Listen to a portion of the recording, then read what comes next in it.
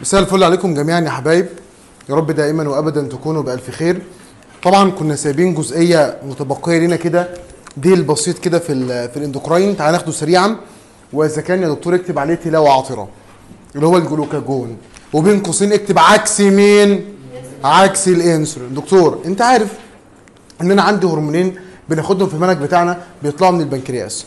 أول هرمون يسمى الإنسولين وتاني هرمون اللي إحنا كنا سايبينه يسمى إيه؟ جلوكاجون. تعال ناخده بسرعة كده مع بعض يا دكتور. هقول لك الجلوكاجون دوت كان بيطلع من ال alpha cell بتاعة الايه؟ البنكرياس. كان بيطلع إيه؟ من ال alpha cell بتاعة البنكرياس. دكتور نعم.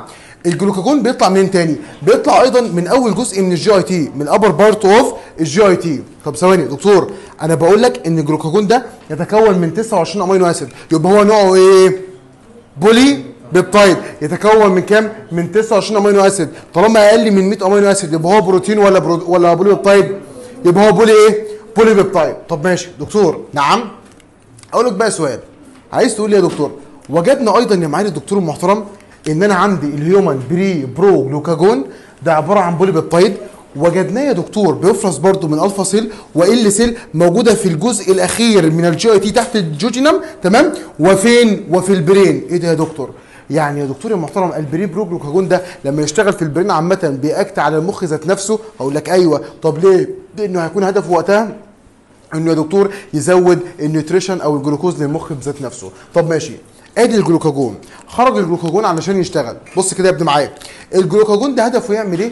أول حاجة في أي هرمون بتكلم عنها كنت بقول لك ما هو هدف هذا الهرمون. كل يقول ويجاوب معايا. هدف الجلوكاجون عكس الإنسولين. يبقى عايز يعمل إيه في الجلوكوز في الدم؟ عايز يزود الجلوكوز في الدم. اذا هو hyper ها glycemic hormone. طب لما يجي يشتغل هو هيعمل إيه؟ هيشتغل على ال liver أو الكبد. عشان يمسك الجلايكوجين الموجود في ال liver أو الكبد يقوم مكسره رميه في الدم يزود الجلوكوز فين؟ يزود الجلوكوز في الدم. فال mechanism of action بتاعه هقول لسيادتك يا دكتور ادي ال liver أو الكبد قدام سيادتك أهو ولنعتبر إن دي خلية كبدية مثلا. خلاص؟ وده عندك ال receptor بتاعه اهو اللي هو عبارة عن G protein coupled إيه G protein coupled receptor. بيمسك الجلوكاجون يا دكتور في ال receptor بتاعه. بيروح يحفز جوه adenylyl cyclase. وأنتوا طبعا زهقتوا من الحاجات دي. لما أزود جوه adenylyl cyclase يبقى أنا كده بزود secondary messenger يسمى ال cyclic AMP secondary messenger يسمى إيه؟ ال cyclic AMP أو ال cyclic AMP ده لما بيزيد داخل ال liver أو الكبد قال لك بيقوم محول الجلايكوجين إلى جلوكوز. في مجرى الدم. يحول الجلايكوجين إلى إيه؟ إلى جلوكوز. يعني من الآخر يا ابني الجلوكاجون بيروح على ال liver أو الكبد يقول له أنت ك liver أو ككبد مخزن جلايكوجين موجود جواك حول الجلايكوجين ده إلى جلوكوز. يعني بنعمل glycogenolysis بنعمل إيه؟ glycogenolysis طب إزاي بيعمل كده؟ إيه ال mechanism of action بتاعه؟ الجلوكاجون بيمسك في G protein coupled ال receptor يحفز adenylyl cyclase يزود cyclic AMP يكسر جلايكوجين يحوله إلى إيه؟ إلى جلوكوز يا معالي الدكتور يعني بيعمل glycogenolysis صعب الكلام ده؟ لا دكتور مش صعب. طب بقول لك إيه كمان يا دكتور؟ نعم. أسألك بقى سؤال. بيقول لك إيه بقى؟ وكذلك وجدنا إن الجلوكاجون بيمسك في receptor آخر في another receptor ولكن وقتها بيحفز phospholipase C enzyme اهدى لما كنت بحفز adenylyl cyclase كنت بزود cyclic AMP. أما ال phospholipase C كان بيزود الكالسيوم ممتازة. كنت بزود مين؟ فزود الكالسيوم يا حبيب قلبي غالي. أهو increase cytoplasmic calcium. دكتور ده بيعمل برضه؟ قال لك ده بيحفز تكسير مزيدا ومزيدا من الجلايكوجين أيضا. إيه ده؟ يعني الجلوكاجون هدفه يروح على الكبد أو ال liver يقول له تكسير جلوكوز حتى الموت. يقول له إيه؟ تكسير جلوكوز حتى الموت. يشتغل على نوعين من ال receptor سواء G protein coupled receptor أو another receptor يا دكتور بيشتغل ب two secondary messenger إما إن هو يزود adenylyl cyclase يزود cyclic AMP وإما إن هو يحفز ال phospholipase C فيقوم مزود الكالسيوم داخل الخلية وده برضه بيساعد على تكسير الجلايكوجين إلى جلوكوز يا جو. الكلام ده صعب يا شباب؟ لا مش صعب. طب اذا ما هي ال function أو الوظائف بتاعة الجلوكاجون؟ يا دكتور أول ما أقول لك وظائف الجلوكاجون هتقول لي على الكربوهيدرات ثم البروتين ثم ال fat اللي هو على ال metabolism بشكل عام. تعال نبص كده مع بعض. على الكربوهيدرات هو هدفه يعمل إيه؟ ها؟ يزود جلوكوز في الدم صح؟ قال لك يا دكتور هو hyperglycemic hormone. هو إيه؟ hyperglycemic hormone. طب ماشي. بيعمل إيه يا دكتور؟ هقول لسيادتك والله معالي الدكتور المحترم هدفه elevate ال blood glucose level بيزود الجلوكوز في الدم. معلش بقى يا دكتور من كل الأرقام دي. يبقى أنا يهمني في المنهج بتاعي إن هو هيبقى قلب الغالي hyperglycemic hormone. هدفه يزود الجلوكوز أو السكر فين؟ هدفه يزود الجلوكوز أو السكر في الدم. طب بيعمل كده إزاي؟ بيروح على ال liver يكسر منه الجلايكوجين. يعمل glycogenolysis صح؟ ولكن not in the muscle خلي بالك. الجلوكاجون يا ابني بيشتغل على ال liver لكن ما يمدش إيده على الجلوكاجون ما يمدش إيد الجلوكاجون ما يمدش ايده على الجلايكوجين اللي موجود فين؟ في ال liver أو في الاسف في ال muscle. يبقى تاني الجلوكاجون لما يجي يشتغل زي الرسمه اللي أنا رسمتها بيشتغل على مين؟ بيشتغل على ال liver. صح؟ طيب not ال muscle. يعني ما يمدش ايده على ال muscle يا دكتور ما يكسرش حاجة في ال muscle. صعب الكلام ده يا شباب؟ لا مش صعب. طب بقول لك إيه؟ نعم. الجلوكاجون لما بيشتغل على ال liver بيقول له إيه؟ جلوكوز حتى الموت. ال liver كسر كل اللي موجود جواه. وال liver طلع كمية كبيرة من الجلايكوجين. ولسه برضو الجلوكاجون عمال يزن وعمال يشتغل. فيقوم ال liver أو الكبد قال له طب ماشي أنا عندي حل كمان. اديني مواد غير سكرية زي amino acid على سبيل المثال أو fatty acid. أي مواد غير سكرية وأنا ك liver أقدر أصنع منها إيه؟ جلوكوز. فيما يعرف ب gluconeogenesis يبقى نقول مع بعض تاني. شغل الجلوكاجون بشكل أساسي بيتم على ال liver أو الكبد ويقول له جلوكوز حتى الموت بيشتغل على two receptor سواء يزود دكتور ال cyclic AMP أو يحفز phospholipase C يزود الكالسيوم كل ده هدفه يكسر الجلايكوجين إلى جلوكوز. ده برده مش كفايه يقوم محول مواد غير سكرية إلى مواد سكرية يعني يعمل gluconeogenesis يعمل إيه؟ gluconeogenesis في ال liver أو الكبد ده بالنسبة للكربوهيدرات سكر حتى الموت. طب بالنسبة للبروتين يا دكتور تعالى كده نقول مع بعض. يا دكتور نعم. هقول لسيادتك مش إحنا لسه قايلين من شوية إن هو بيروح يشتغل على ال liver أو الكبد يقول له جلوكوز حتى الموت صح؟ طب وما كانش بيستكفي بشوية الجلايكوجين الموجودين في الكبد أو ال liver؟ وبالتبعية كنا بناخد ال amino acid من الدم ندخلها داخل ال liver أو الكبد ونصنع منها إيه؟ جلوكوز فيما يعرف ب gluconeogenesis. ولذلك أقول لسيادتك الآتي في إنزيمات بتشتغل بيشغلها الجلوكاجون هدفها amino acid uptake. amino acid إيه؟ uptake. يخلي يا دكتور ويا دكتورة ال liver ياخد ال amino acid. عشان يعمل بيه؟ gluconeogenesis بكتب يا ابني وخلص الكلام ده كله بيقول له liver جلوكوز حتى الموت. طلع الجلوكوز بكل وسيلة ممكنة. بعد كده على مين على ال fat in high concentration of ال glucagon. الجلوكاجون بيعمل lipolysis في ال adipose tissue يعني بيكسر ال adipose tissue ويطلع منه دكتور free fatty إيه acid طب ليه يا دكتور؟ بستخدم ال free fatty acid as a source of energy بالنسبة للعضلات وباقي الجسم عامة. طب حلو. ولذلك يا دكتور يا محترم قال لك الجلوكاجون لما يكون تركيزه عالي اللي هو بيروح ي activate إنزيم اسمه إيه؟ بص هرمون sensitive lipase انزيم هرمون إيه؟ lipase بص ال lipase انزيم هيعمل إيه في ال lipid أو ال fat cell؟ lipolysis ويطلع منها free fatty acid في الدم. وعندما تزداد ال free fatty acid في الدم بستخدمها أيضا كمصدر أو ك source من مصادر الطاقة زي ما أنت عارف. طب بقول لك يا دكتور؟ الجلوكاجون هو calorigenic action ليه يا دكتور؟ ثواني. مش هو يا ابني بيزود الجلوكوز في الدم؟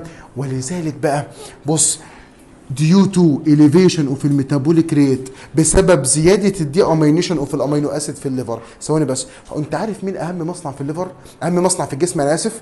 ال liver أو الكبد. ال liver أو الكبد يا ابني على فكرة لو انت مش مديله قيمته ده يشغل أغلب البطن زي ما انت شايف كده. فال liver أو الكبد ده يعتبر أهم مصنع موجود وأكبر مصنع موجود في جسمك على الإطلاق.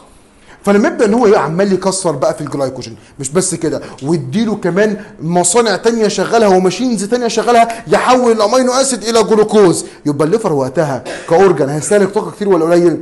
وال metabolism بتاع الجسم يكون وضعه إيه؟ زيادة ولذلك ال metabolic rate بتاع الجسم عامة بيزداد بسبب ال deamination of amino acid عشان اصنع منها gluconeogenesis يبقى إنتاج الطاقة في الجسم أو calorigenic action وضعه إيه؟ بيزداد صح ولا مش صح؟ صح يا دكتور طب بقول لك إيه؟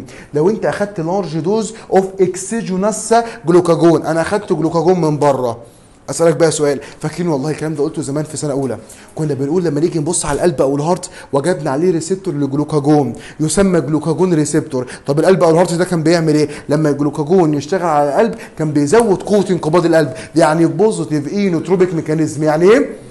positive inotropic إيه؟ mechanism نقول مع بعض تاني. القلب أو ال heart كان عليه receptor لمين؟ للجلوكاجون. كان عليه receptor لمين؟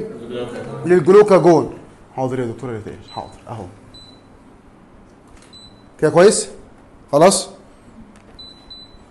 يلا لا هي تولعوا أنتوا قاعدين بقى بحد يقول لي المس التكييف تاني.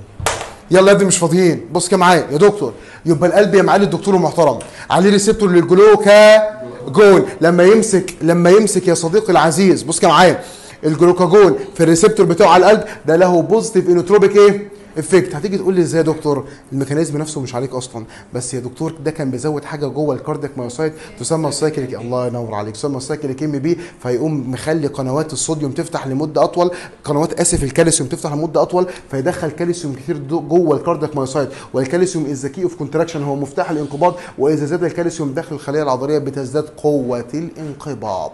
الكلام ده صعب يا دكتور؟ لا والله ما صعب. تمام؟ حلو جدا. يبقى يا دكتور الجلوكاجون لو زاد له positive inotropic effect على ال heart لأن هو مكتوب عندك هو بيزود ال cyclic AMP عايز يزود ده وال cyclic AMP لما بيزيد بيفتح قنوات للكالسيوم لمدة أطول فيزود الكالسيوم داخل ال cardiac myocyte فيزود قوة الانقباض. طب إيه كمان يا دكتور؟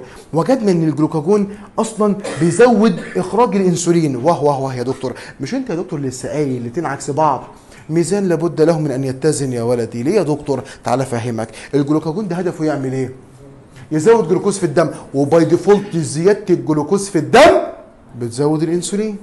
يبقى أقدر أقول لك الجلوكاجون زود السكر فقام مزود الإنسولين. يبقى الجلوكاجون بي stimulate خروج مين؟ الانسولين وكذلك ال growth hormone وال pancreatic somatostatin. ال somatostatin ده هدفه يعمل إيه؟ يثبطه ويوقفه. ده هرمون رخم بيوقف أي حاجة. طب إزاي يا دكتور أقدر أعمل عملية regulation للجلوكاجون قال لك على حسب كذا factor. أول factor عندك ال blood glucose level. دكتور نعم. هو هدف الجلوكاجون إيه؟ يزود السكر في الدم. قول معايا تاني. هدف الجلوكاجون إيه؟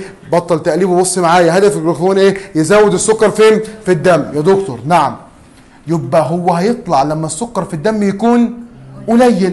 يبقى ال hypoglycemia نقصان السكر في الدم بتزود خروج الجلوكاجون. طب السكر لو زاد الجلوكاجون هيقل ولكن ال hyperglycemia بت decrease خروج الجلوكاجون. الكلام ده صعب يا دكتور؟ الكلام ده فيه مشكلة؟ لا يا دكتور. طب ثواني بقى. بقول لك إيه؟ ولذلك نقصان الجلوكوز في الدم ده ممكن يحصل إمتى؟ أثناء ال starvation. المجاعات على فترات طويلة. هقول لسيادتك يا دكتور ال secretion وقتها بتاع الجلوكاجون بيزيد أثناء ال starvation إن مفيش مصادر للطاقة في جسمك والجلوكوز في الدم عمال بيقل جامد فيطلع الجلوكاجون يحاول يعلي السكر في الدم قوي. صح ولا مش صح؟ صح يا معالي دكتور محترم بقول لك إيه؟ usually في ال third day at time of maximal gluconeo gluconeogenesis يعني إيه الكلام ده؟ يعني ال liver أو الكبد لو أنت دخلت في مجاعة مثلا لثلاث أربع أيام خلاص؟ اللي هو يا دكتور يا دوب بتشرب والأكل مفيش خلاص؟ مفيش مصادر للطعام ولذلك يا صديقي العزيز اللي يحصل كالتالي.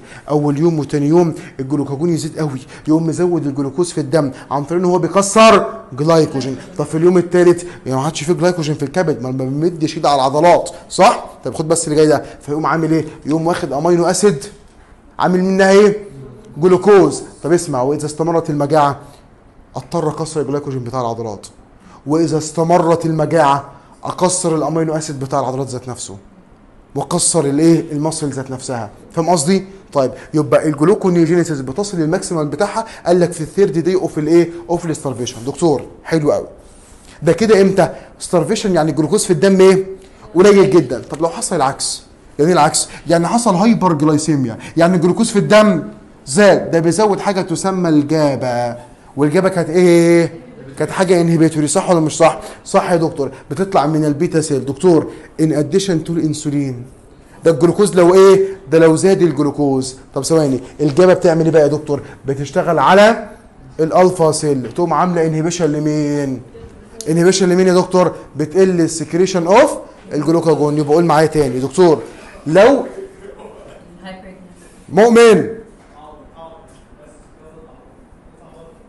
اطلع أنت بره. hyperglycemia يعني إيه؟ يعني لو زاد الجلوكوز فين؟ لو زاد الجلوكوز في الدم. إيه اللي يحصل؟ هقول لسيادتك أكيد الإنسولين هيزيد صح؟ في نفس الوقت الإنسولين فيه بيزيد بيطلع ال GABA من ال beta cell برضو. تروح ت inhibit ال alpha cell وتقلل خروج الجلوكاجون إن الجلوكاجون ده عايز يزود مين؟ الجلوكوز. والجلوكوز أصلا زيادة أنا مش عايز أزوده أكتر من كده. أنا مش عايز إيه؟ مش عايز أزوده أكتر من كده. طب ماشي كلام جميل جدا. ال glucocorticoid اللي هو مين؟ كورتيزول وجدنا إن هو necessary أو مهم جدا للجلوكاجون to exert ال glucogenic effect أثناء ال fasting أو الصيام أو ال starvation مش إحنا قلنا؟ إن الكورتيزول كان له بعض ال permissive effect. اللي هو بيسهل عمل هرمونات أخرى من ضمنها الجلوكاجون. عندك مشكلة؟ صعب الكلام ده حتى الآن؟ لا دكتور مش صعب. طب ماشي. أثناء ال exercise إيه اللي بيحصل يا دكتور؟ الموضوع بسيط جدا. دكتور وأنا بلعب exercise أنا عايز أعمل إيه؟ أنا عايز أزود الجلوكوز عندي فين؟ في الدم. مش بس كده وعايز أزود ال fatty acid. مش الجلوكاجون برضو لما كان بيزيد كان بيزود ال fatty acid ويعمل lipolysis طب أثناء ال exercise أنا ب stimulate خروج الجلوكاجون طب بسبب إيه؟ زيادة استخدام الجلوكوز. صح مش صح؟ وال autonomic nervous system اللي هو ال sympathetic ال sympathetic وقتها بيروح يحفز البنكرياس والبنكرياس وقتها بيقوم مطلع الجلوكاجون. يبقى دكتور أثناء شغل السيمباستيك في الإكسرسايز والسيمباستيك ما بيشتغلش في الإكسرسايز بس بل بيشتغل في أي emergency أو stressful condition لما يشتغل sympathetic بيحفز ال beta adrenergic receptor على البنكرياس وال beta adrenergic receptor يا معالي الدكتور محترم بتزود ال cyclic AMP فتزود خروج الجلوكاجون. سيبك من كل الهري ده. بالعقل وبالمنطق. أنا دلوقتي ال sympathetic شغال عندي. عايز أعمل إيه في الجلوكوز في الدم؟ عايز أزوده. طب عايز أزود الجلوكوز في الدم يبقى خرج مين؟ جلوكاجون يبقى by logic وبالعقل وبالمنطق حتى لو أنت مش مذاكر يلا لو اشتغل ال sympathetic يزود جلوكاجون يزود جلوكوز. إزاي بقى ال mechanism قدامك أهو؟ يبقى المعلومة نفسها أنت عارفها خلي بالك. أنا بقول لك بقى إن ال sympathetic بيشتغل على ال beta adrenergic receptor الموجود على البنكرياس فيقوم مزود جواه ال cyclic AMP. ولما يزود ال cyclic AMP يقوم محفز خروج الجلوكاجون. صعب الكلام ده؟ والجلوكاجون يقوم مزود السكر في الدم يعني hyperglycemic hormone يساعدك أثناء الايه ال emergency أو أثناء ال exercise عادي ما عنديش مشكلة يا دكتور. طب كلام جميل جدا. بقول لك إيه؟ نعم. ده لو اشتغل على beta adrenergic receptor لكن لو اشتغل على ألفا 2 زود لي هنا 2 الله يكرمك. لكن لو اشتغل على ألفا 2 adrenergic receptor alpha 2 كان نوعها إيه؟ inhibitory ممتازة. كان نوعها إيه؟ ده بي inhibit ال glucagon. يبقى ال sympathetic على فكرة على حسب. لو اشتغل على بيتا 1 يقوم يزود الجلوكاجون. لو اشتغل على ألفا 2 ي inhibit ال glucagon.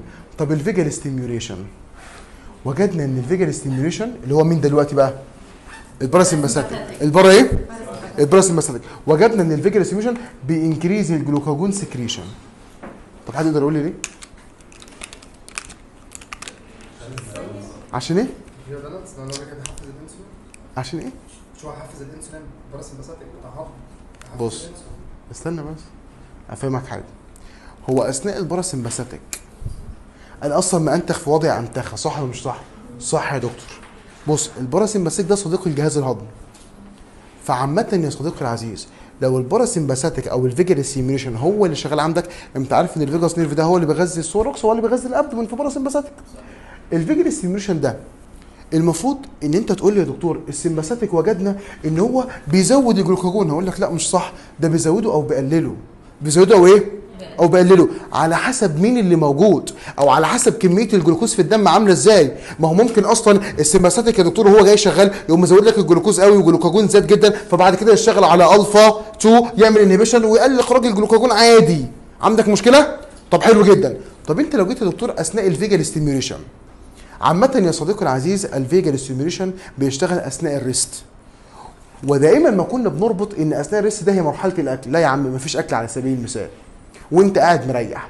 فال glucose level عندك في الدم وضعه إيه يا دكتور؟ طبيعي normal. عادي. صح ولا مش صح؟ طب أنت يا دكتور المحترم لو جيت تعمل أي مجهود أو جيت يا معالي الدكتور تفكر وأنت في حالة ال rest يا دكتور هل الجسم أو ال brain ذات نفسه؟ بس اسمع أنا ما أكلتش. يعني ما تقوليش vagal stimulation على الجهاز الهضمي. ما هو لو vagal stimulation على الجهاز الهضمي يا دكتور هيزود الجلوكوز في الدم. يعني أقصد أقول لك بمنتهى الوضوح vagal stimulation اشتغل والجلوكوز مش زيادة في الدم. والجلوكوز إيه؟ لكن لو ال vagal شغال بسبب إن إن ال GIT هو اللي شغال وأنا لسه واكل من شوية وشارب عصير والجلوكوز زيادة في الدم هزود جلوكاجون لا ما هو أصلا زيادة الجلوكوز في الدم. لكن لو vagal شغال والسكر في الدم مش عالي. في وضع انتخه بس السكر في الدم مش عالي ازود خروج الجلوكاجون عادي. ليه بقى؟ عشان اوفر الفيول أو الايه؟ الوقود بتاع ال brain. الا وهو مين؟ الجلوكوز. طب لما اشتغل يا دكتور المحترم الجلوكاجون بقى ودي معلومة غاية في الأهمية أثناء ال parasympathetic هل هو بنفس الأكشن زي ال sympathetic؟ لا. ده يا دكتور بيكون optimal secretion يعني بيطلع كمية كده بسيطة من الجلوكاجون هدفها توفر شوية جلوكوز عشان أحافظ على ال normal blood glucose level حتى أثناء ال parasympathetic أو ال rest ده في حالة لو ما فيش جلوكوز زيادة في الدم. بأؤكد تاني. طب إيه كمان يا دكتور؟ بعض ال GIT hormones وأنا باكل يا دكتور؟ بقول لك إيه؟ نعم. دكتور لو أنت بتاكل أكلت أكلة فيها protein meal كتير. صح ولا مش صح؟ صح يا دكتور. بقول لك إيه؟ ليه ال protein meal الزيادة بتزود خروج الجلوكاجون؟ نقطة من أول السطر اللي عارف يجاوب. عشان إيه؟ gluconeogenesis. طيب اسمعيني بقى. طب ال sugar meal تزود جلوكاجون لا. أنا بقول لك بروتين إيه؟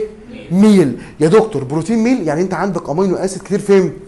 ده على فكرة هيحفز ال growth hormone ويحفز الجلوكاجون طب لما يحفز الجلوكاجون هدفه يعمل إيه؟ يعمل uptake لل amino acid من الدم يدخلها داخل ال liver أو الكبد يصنع منها gluconeogenesis ويصنع منها إيه؟ سكر أو جلوكوز عامة يترمي في الدم.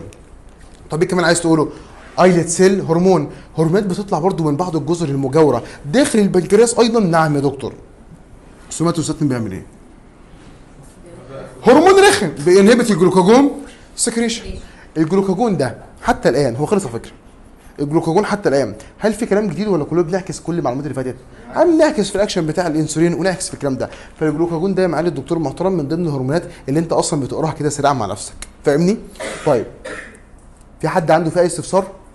طيب هرمون آخر والله مش عايز أقرأ في حاجة سوماتوستاتين الهرمون الرخم ده هدفه يعمل إيه يا معالي الدكتور؟ ده بيطلع من ال D cell بتاعت البنكرياس صح؟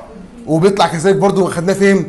في ال GIT برضه من ال D cell دكتور هو بيعمل إيه يعني؟ هقول لك هناك factors related to ال food ingestion بتزود ال secretion بتاعه. يعني مثلا لو أنت أكلت يا دكتور جلوكوز كتير أو amino acid كتير أو fatty acid كتير أو زادت بعض الهرمونات زي cholecystokinin كل الحاجات دي بتحفز ال somatostatin. ال somatostatin ده عامل زي الهرمون الرخم اللي بيروح يظبط أي حاجة. الشيء لما بيزيد عن حده بيقلب لضده ولذلك السوماتوستاتين بيمنع الشيء إن هو يزيد عن حده. فبيشتغل يا معالي الدكتور المحترم إن هو بي act locally لو طلع واشتغل على البنكرياس على سبيل المثال بينهبت الإنسولين وينهبت الجلوكاجون وينهبت البوليبيبتايد بينهبت أي حاجة بيشتغل عليها. ده كنت بسميه زمان universal inhibitor فاكر الكلام ده؟ أي نعم يا دكتور. السوماتوستاتين برضه بيطلع من ال GIT صح؟ بيعمل إيه؟ inhibition لل motility سواء stomach duodenum ال gall bladder أي حاجة. صح ولا مش صح؟ طب ثواني وانهبيشن للسكريشن وانهبيشن للابزوربشن. السوماتوستاتين بيعمل إيه؟ universal إيه؟ inhibitor. ممكن احذف كل الكلام ده واكتب جنبه universal inhibitor. صعب الكلام ده يا ابني؟ في كلمة جديدة؟ لا يا دكتور. طيب دكتور. بسم الله. regulation of blood glucose level أو glucose homeostasis هل يلزم يا دكتور إن إحنا نحافظ على مستوى الجلوكوز في الدم ثابت؟ آه. الجلوكوز في الدم يا دكتور في مستوى طبيعي. constant blood glucose concentration أو level لو زاد عندي سكر ولو قل خطر على المخ أو ال brain. صح مش صح؟ ولذلك يا صديقي العزيز أقول لسيادتك إيه؟ لازم يكون عندي constant blood glucose concentration ده مهم ليه يا دكتور؟ لأن هو the only nutrient that can used under ال normal condition for the مين for the brain يبقى المخ أو ال brain الوقود الوحيد بتاعه اللي يقدر إن هو يشتغل عليه هو مين يا ابني؟ هو الجلوكوز ولذلك يا صديقي العزيز مش ال brain بس شبكية العين ال retina وال germinal epithelium في ال male عس... يعني الحيوانات المنوية في الراجل على سبيل المثال الغذاء الوحيد بتاعها جلوكوز فعندك يا دكتور وال gonads عامة يا دكتور يا محترم في ال female يا دكتور كل الحاجات ال vital دي بالنسبة للراجل أو الست سواء retina سواء ال brain سواء ال gonads الغذاء الوحيد بتاعها هو مين؟ مين؟ هو الجلوكوز. فهل ينفع إن الجلوكوز ده يقل في الدم؟ لا. طب الأولوية لمين في الجسم؟ للثلاث حاجات دول. الأولوية يا دكتور لل brain ولا ال retina وال germinal epithelium ولا الأولوية للعضلات؟ يعني العضلات لو محتاجة وال retina والمخ محتاجين أدي مين؟ المخ طبعا وال retina ما اديش العضلات. صح مش صح؟ وذلك كان أغلب الهرمونات اللي أنت أخدتها كنت بقول لك بتطلع أثناء ال stress عشان توفر الجلوكوز دي مين؟ لل brain أو المخ. وكانت بتمنع ال glucose utilization في ال muscles أو العضلات. تقول لل muscle إيه؟ خدي fatty acid حصل ولا ما حصلش؟ حصل يا دكتور. طب ماشي. on the other hand يا دكتور نعم. بقول لسيادتك flooding blood with ال glucose is not beneficial على الرغم من كده لو زاد الجلوكوز في الدم دي حاجة مش حلوة. لأن ال hyperglycemia يا معالي الدكتور لها باير له أيضا harmful إيه effect يعني الجلوكوز القليل خطر لأن هو بيقل المواد الغذائية لل retina وال germinal epithelium وال brain وكذلك زيادة الجلوكوز برضو إيه؟ خطر يا معالي الدكتور. طب أسألك سؤال هو الجلوكوز الطبيعي كام؟ ثواني بقى لو هو fasting blood glucose level من 80 ل 100 من كام؟ طب يا دكتور يا يا محترم نعم. قال لك والله بعد ما تاكل يا دكتور يا محترم في ال first hour after meal بعد ما تاكل بساعة بيوصل للآخر من 120 ل 130 140 صعب الكلام ده؟ لا مش صعب يا دكتور. طب بقول لك إيه؟ نعم. أسألك بقى سؤال ولكن هناك feedback system بي control وبيتحكم في الجلوكوز ويرجعه تاني بسرعة يا معالي الدكتور لل normal الطبيعي بتاعه اللي هو 120 مثلا بعد الأكل. ثواني يعني أقول لك إيه أنا أكلت أكلة دسمة جدا دلوقتي. أكلت إيه؟ اكل دسم وقمت شارب بقى عصير بعدها وأكلت كنافة نابلسية وخربت الدنيا. فالسكر في دمي وصل 150 وصل كام؟ 150 ده إمتى ده بعد الأكل بساعة. السكر مهول في الدم. ده بالنسبة لي ك normal صح؟ بعدها بساعتين ثلاثة السكر ينزل تاني 120 ليه بقى؟ لأن feedback system بيشتغل الإنسولين بيزيد ال liver ياخد الباقي. ما, ما سيبش السكر ابدا في الدم بزيادة أكتر من ال normal أو الطبيعي ولو السكر فضل في الدم زياده أكتر من ال normal والطبيعي يبقى أنا كده diabeto إيه؟ genic. يدخل على إيه؟ على سكر أو diabetes mellitus طب ماشي. دكتور in between ال meals بقى ما بين الوجبات عامة وجبنا إيه؟ هقول لك والله يا معالي الدكتور ال glucose is formed by gluconeogenesis ده سؤال مهم جدا. هيجي واحد يسألني يقول لي طب افرض أنا يا دكتور فطرت مثلا الساعة 7 الصبح وبتغدى الساعة 5 خلاص؟ أنت بتقول لي يا دكتور السكر عندي في الدم ما ينفعش إلا عن 100 و120 صح؟ أقول لك آه. طب أنا يا دكتور بقى لي مثلا في 8 9 ساعات مش هاكل فيهم اهو وأنا جسمي محتاج جلوكوز زيادة آخد منين يعني؟ والله أنت مثلا عايز تكسر شوية جلايكوجين كسرهم طب احترت شوية؟ ها؟ gluconeogenesis عندك الخير كتير. بس المهم بالنسبة لي إن الجلوكوز كجلوكوز. ما يزيدش أكتر من الطبيعي في الدم وما يقلش عن الطبيعي في الدم. صح ولا مش صح؟ يبقى أنا بعمل gluco glucose homeo إيه؟ homeostasis صباح الخير يا اللي نايم. ماشي؟ طب ماشي. عظيم جدا يا دكتور. طب ولذلك بقى أقول لك حاجة. in between meals أنا ممكن أكون جلوكوز. عن طريق gluconeogenesis واستخدمه في ال brain إيه؟ metabolism. ده لو الجسم محتاج. بص معايا so البنكرياس doesn't secrete any insulin أثناء الوقت ما بين الوجبات. أمال البنكرياس دايما الإفراز بتاعه من الانسولين بيزيد إمتى؟ وإنت بتاكل. خد بقى المعلومة اللي جاية دي. وقلناها في ال GIT. والأكل لسه موجود يا ابني في ال GIT. البنكرياس طلع الإنسولين. to prevent postprandial hyperglycemia خلاص بقى انت بقيت شاطر في الكلام ده. يبقى أصلا وانت بتاكل يا صديقي العزيز الأكل هو موجود أصلا في ال GIT. لو الأكل ده بيحتوي على سكر كتير بيروح يدي معلومة للبنكرياس ويقول له الأكل فيه sugar أو سكر بزيادة. فيقوم البنكرياس مطلع إيه؟ انسولين في الدم عامل حسابه. عشان أول ما السكر الزيادة يجي ما يزودش السكر في الدم. و prevent postprandial hyperglycemia اللي هو زيادة الجلوكوز في الدم بعد الأكل يا دكتور أو بعد الوجبات. صعب الكلام ده؟ طب in between الوجبات. لا انسولين ما بيزيدش. صح ولا مش صح؟ To allow small supplies of الجلوكوز إنها تذهب لل brain يا معالي الدكتور المحترم. و not utilized by the muscle لأن اخلي يا دكتور المستوى الطبيعي من الجلوكوز ده في الدم يروح فقط للمخ أو ال brain وما يستخدمش عن طريق مين ال muscle أو ال peripheral tissue الجلوكوز ده بتاع مين؟ بتاع ال brain صح؟ طب أما أثناء ال starvation إحنا قلنا يا دكتور ال glucogenic function بتاعت ال liver بتبدأ تشتغل وتكسر جلايكوجين وتطلع منه جلوكوز وبعد شوية خلص الجلايكوجين أعمل gluconeogenesis واخد amino acid أحوله ليه جلوكوز صح مش صح؟ أنا بحاول أعمل إيه يا دكتور؟ بحاول إن أنا أحافظ شوية على مستوى ال blood glucose level وببذل قصارى جهدي إن أنا اعمل ده. طب وإذا استمرت المجاعة الاربع خمس أيام لا ببدأ أكسر ال muscle إيه جلايكوجين. وإذا استمرت أكتر هكسر البروتين جلايكوجين. صح هكسر البروتين الموجود في ال muscle أو العضلات. ولذلك أثناء ال starvation لما تشوف مثلا كان في مجاعة في الصومال من فترة لو أنتوا حضرتوها أو شفتوها كنت تلاقي الأطفال يا دكتور إيه ما عندوش muscle خالص. صح؟ جلد على عظم حرفيا. لأن من كتر ال starvation أو المجاعة إيه اللي حصل؟ آه ال muscle نفسها اتكسرت. صعب الكلام ده؟ لا مش صعب. دكتور نعم؟ تعال نعمل control لل mechanism of its components إزاي بقى؟ بيقدر الجسم ككل يعمل control عشان يتحكم في مستوى السكر أو الجلوكوز في الدم. أول حاجة glucostatic function بتاعت ال liver. لا يجوز بأي حال من الأحوال إن أنا أتكلم عن ثبات مستوى الجلوكوز في الدم وما أجيبش سيره ال liver ده أهم organ حتى الآن. صح؟ له إيه؟ glucostatic كلمة stat معناها ثبات. و gluco اللي هي مين؟ جلوكوز. أي ان ال liver أو الكبد يساعد على ثبات مستوى مين؟ السكر في الدم. طب أقول لك إيه؟ يا دكتور after a meal بعد ما تاكل يعني أثناء الهضم أو امتصاص الأكل اللي هو ال absorption. ثواني بس كده. دكتور بمتص صوديوم بمتص آسف آه، جلوكوز كتير. فال blood glucose بيبدأ يزيد ل high concentration صح ولا مش صح؟ الجلوكوز لما بيزداد بيزداد خروج الإنسولين صح ولا مش صح؟ ثواني بس يا دكتور. also بيزود تلتين من الجلوكوز اللي تم امتصاصه من ال GIT قال لك بيتخزن في ال liver أو الكبد كجلايكوجين. يعني إيه؟ يعني وأنت يا معالي الدكتور المحترم بتاكل. أكلت كمية كبيرة جدا من الايه من السكر أو الجلوكوز. تلتين الكمية اللي أنت أكلتها في الحال. طالما جت من ال gut أو من ال GIT وامتصت في الدم تلتينها في الحال.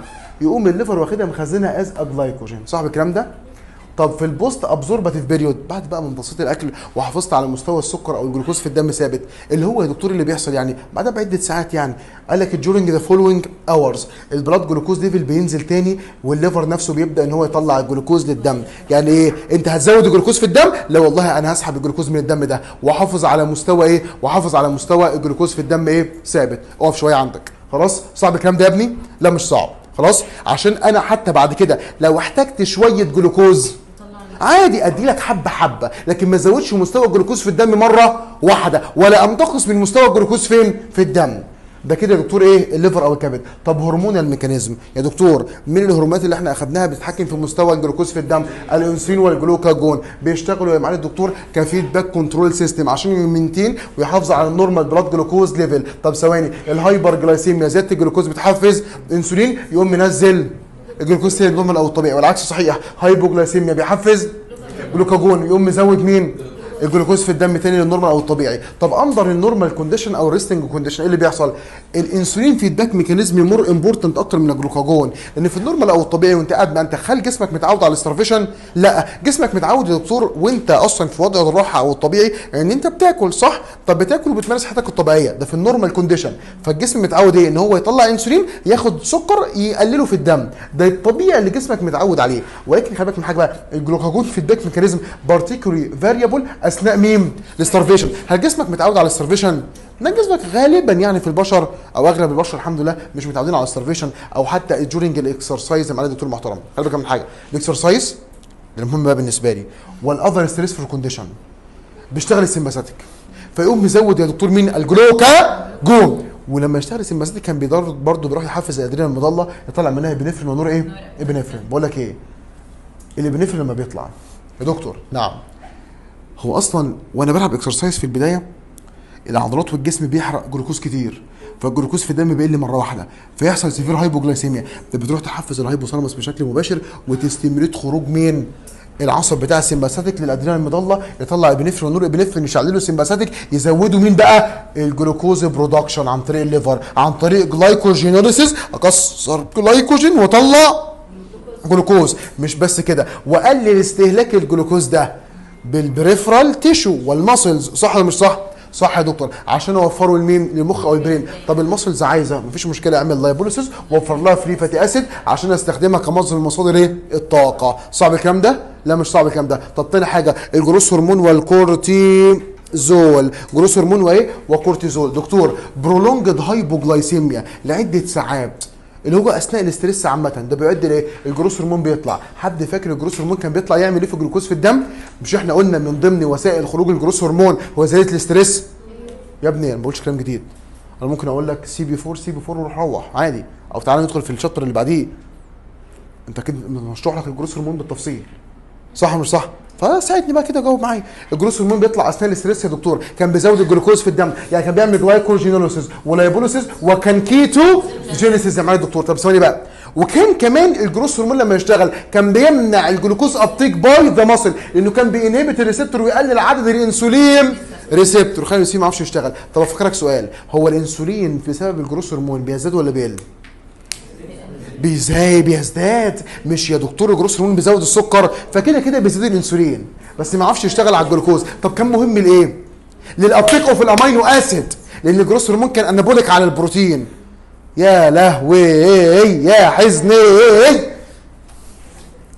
حتى ال crash course مش نافع؟ العشم في الكبسولة صح؟ ماشي. هتنزل لكم من أول النهارده بالليل على فكرة. إن شاء الله يعني من غير مقاطعة يعني. طيب. الله المستعان. طب بقول لك يا دكتور ده كده بالنسبة لمين؟ ل growth hormone. طب الكورتيزول انت عارف برضو الكورتيزول ده كان بيطلع أثناء ال stress صح؟ كان بيعمل gluconeogenesis و lipolysis و ketogenesis و ketogenesis برضو بس كان بيعمل إيه؟ كان بيقلل ال affinity بتاعت الانسولين لل receptor بتاعه صح ولا مش صح؟ فالانسولين ما يعرفش يدخل جلوكوز داخل. ال muscles وبالتبعية بقلل ال glucose utilization بال peripheral tissue عشان في حالات ال stress بيخرج الجلوكاجون وكذلك ال growth hormone أزود الجلوكوز في الدم من أجل المايسترو الا وهو المخ أو ال brain. طب عندك بعد كده حاجة اسمها glucagon like peptide حاجة اسمها إيه؟ glucagon like peptide يا دكتور ده بيعمل إيه بقى؟ ده عبارة عن 30 amino acid صح؟ دكتور يبقى ده عبارة عن poly إيه؟ عن polypeptide على فكرة ده بيطلع يا معالي الدكتور من ال enter من intestinal epithelial endocrine ال cell صح؟ طب اسمع ده بيطلع يا دكتور منين بقى؟ من ال GIT عامة. خليه تسمى L cell هدفه يعمل إيه يعني؟ in response to ال meal intake أنت أول ما تاكل glucagon like peptide type 1 ده بيبدأ يطلع. طب هو الاكشن بتاعه إيه؟ قال لك والله هو ده الإشارة اللي بتروح تعرف باقي الجسم إن في أكل نازل في الجهاز الهضمي. يعني ده بيروح يحفز الإنسولين صح؟ يقول له في سكر كتير جاي في الطريق. عشان أعمل إيه يا دكتور؟ ده بيشتغل ك incretin hormone. فاكرين يعني إيه incretin hormone؟ ده كانت في ال GIT. يعني إيه؟ يعني يروح يبلغ ها البنكرياس إن في سكر كتير جاي في الجهاز الهضمي فالبنكرياس يقوم مطلع.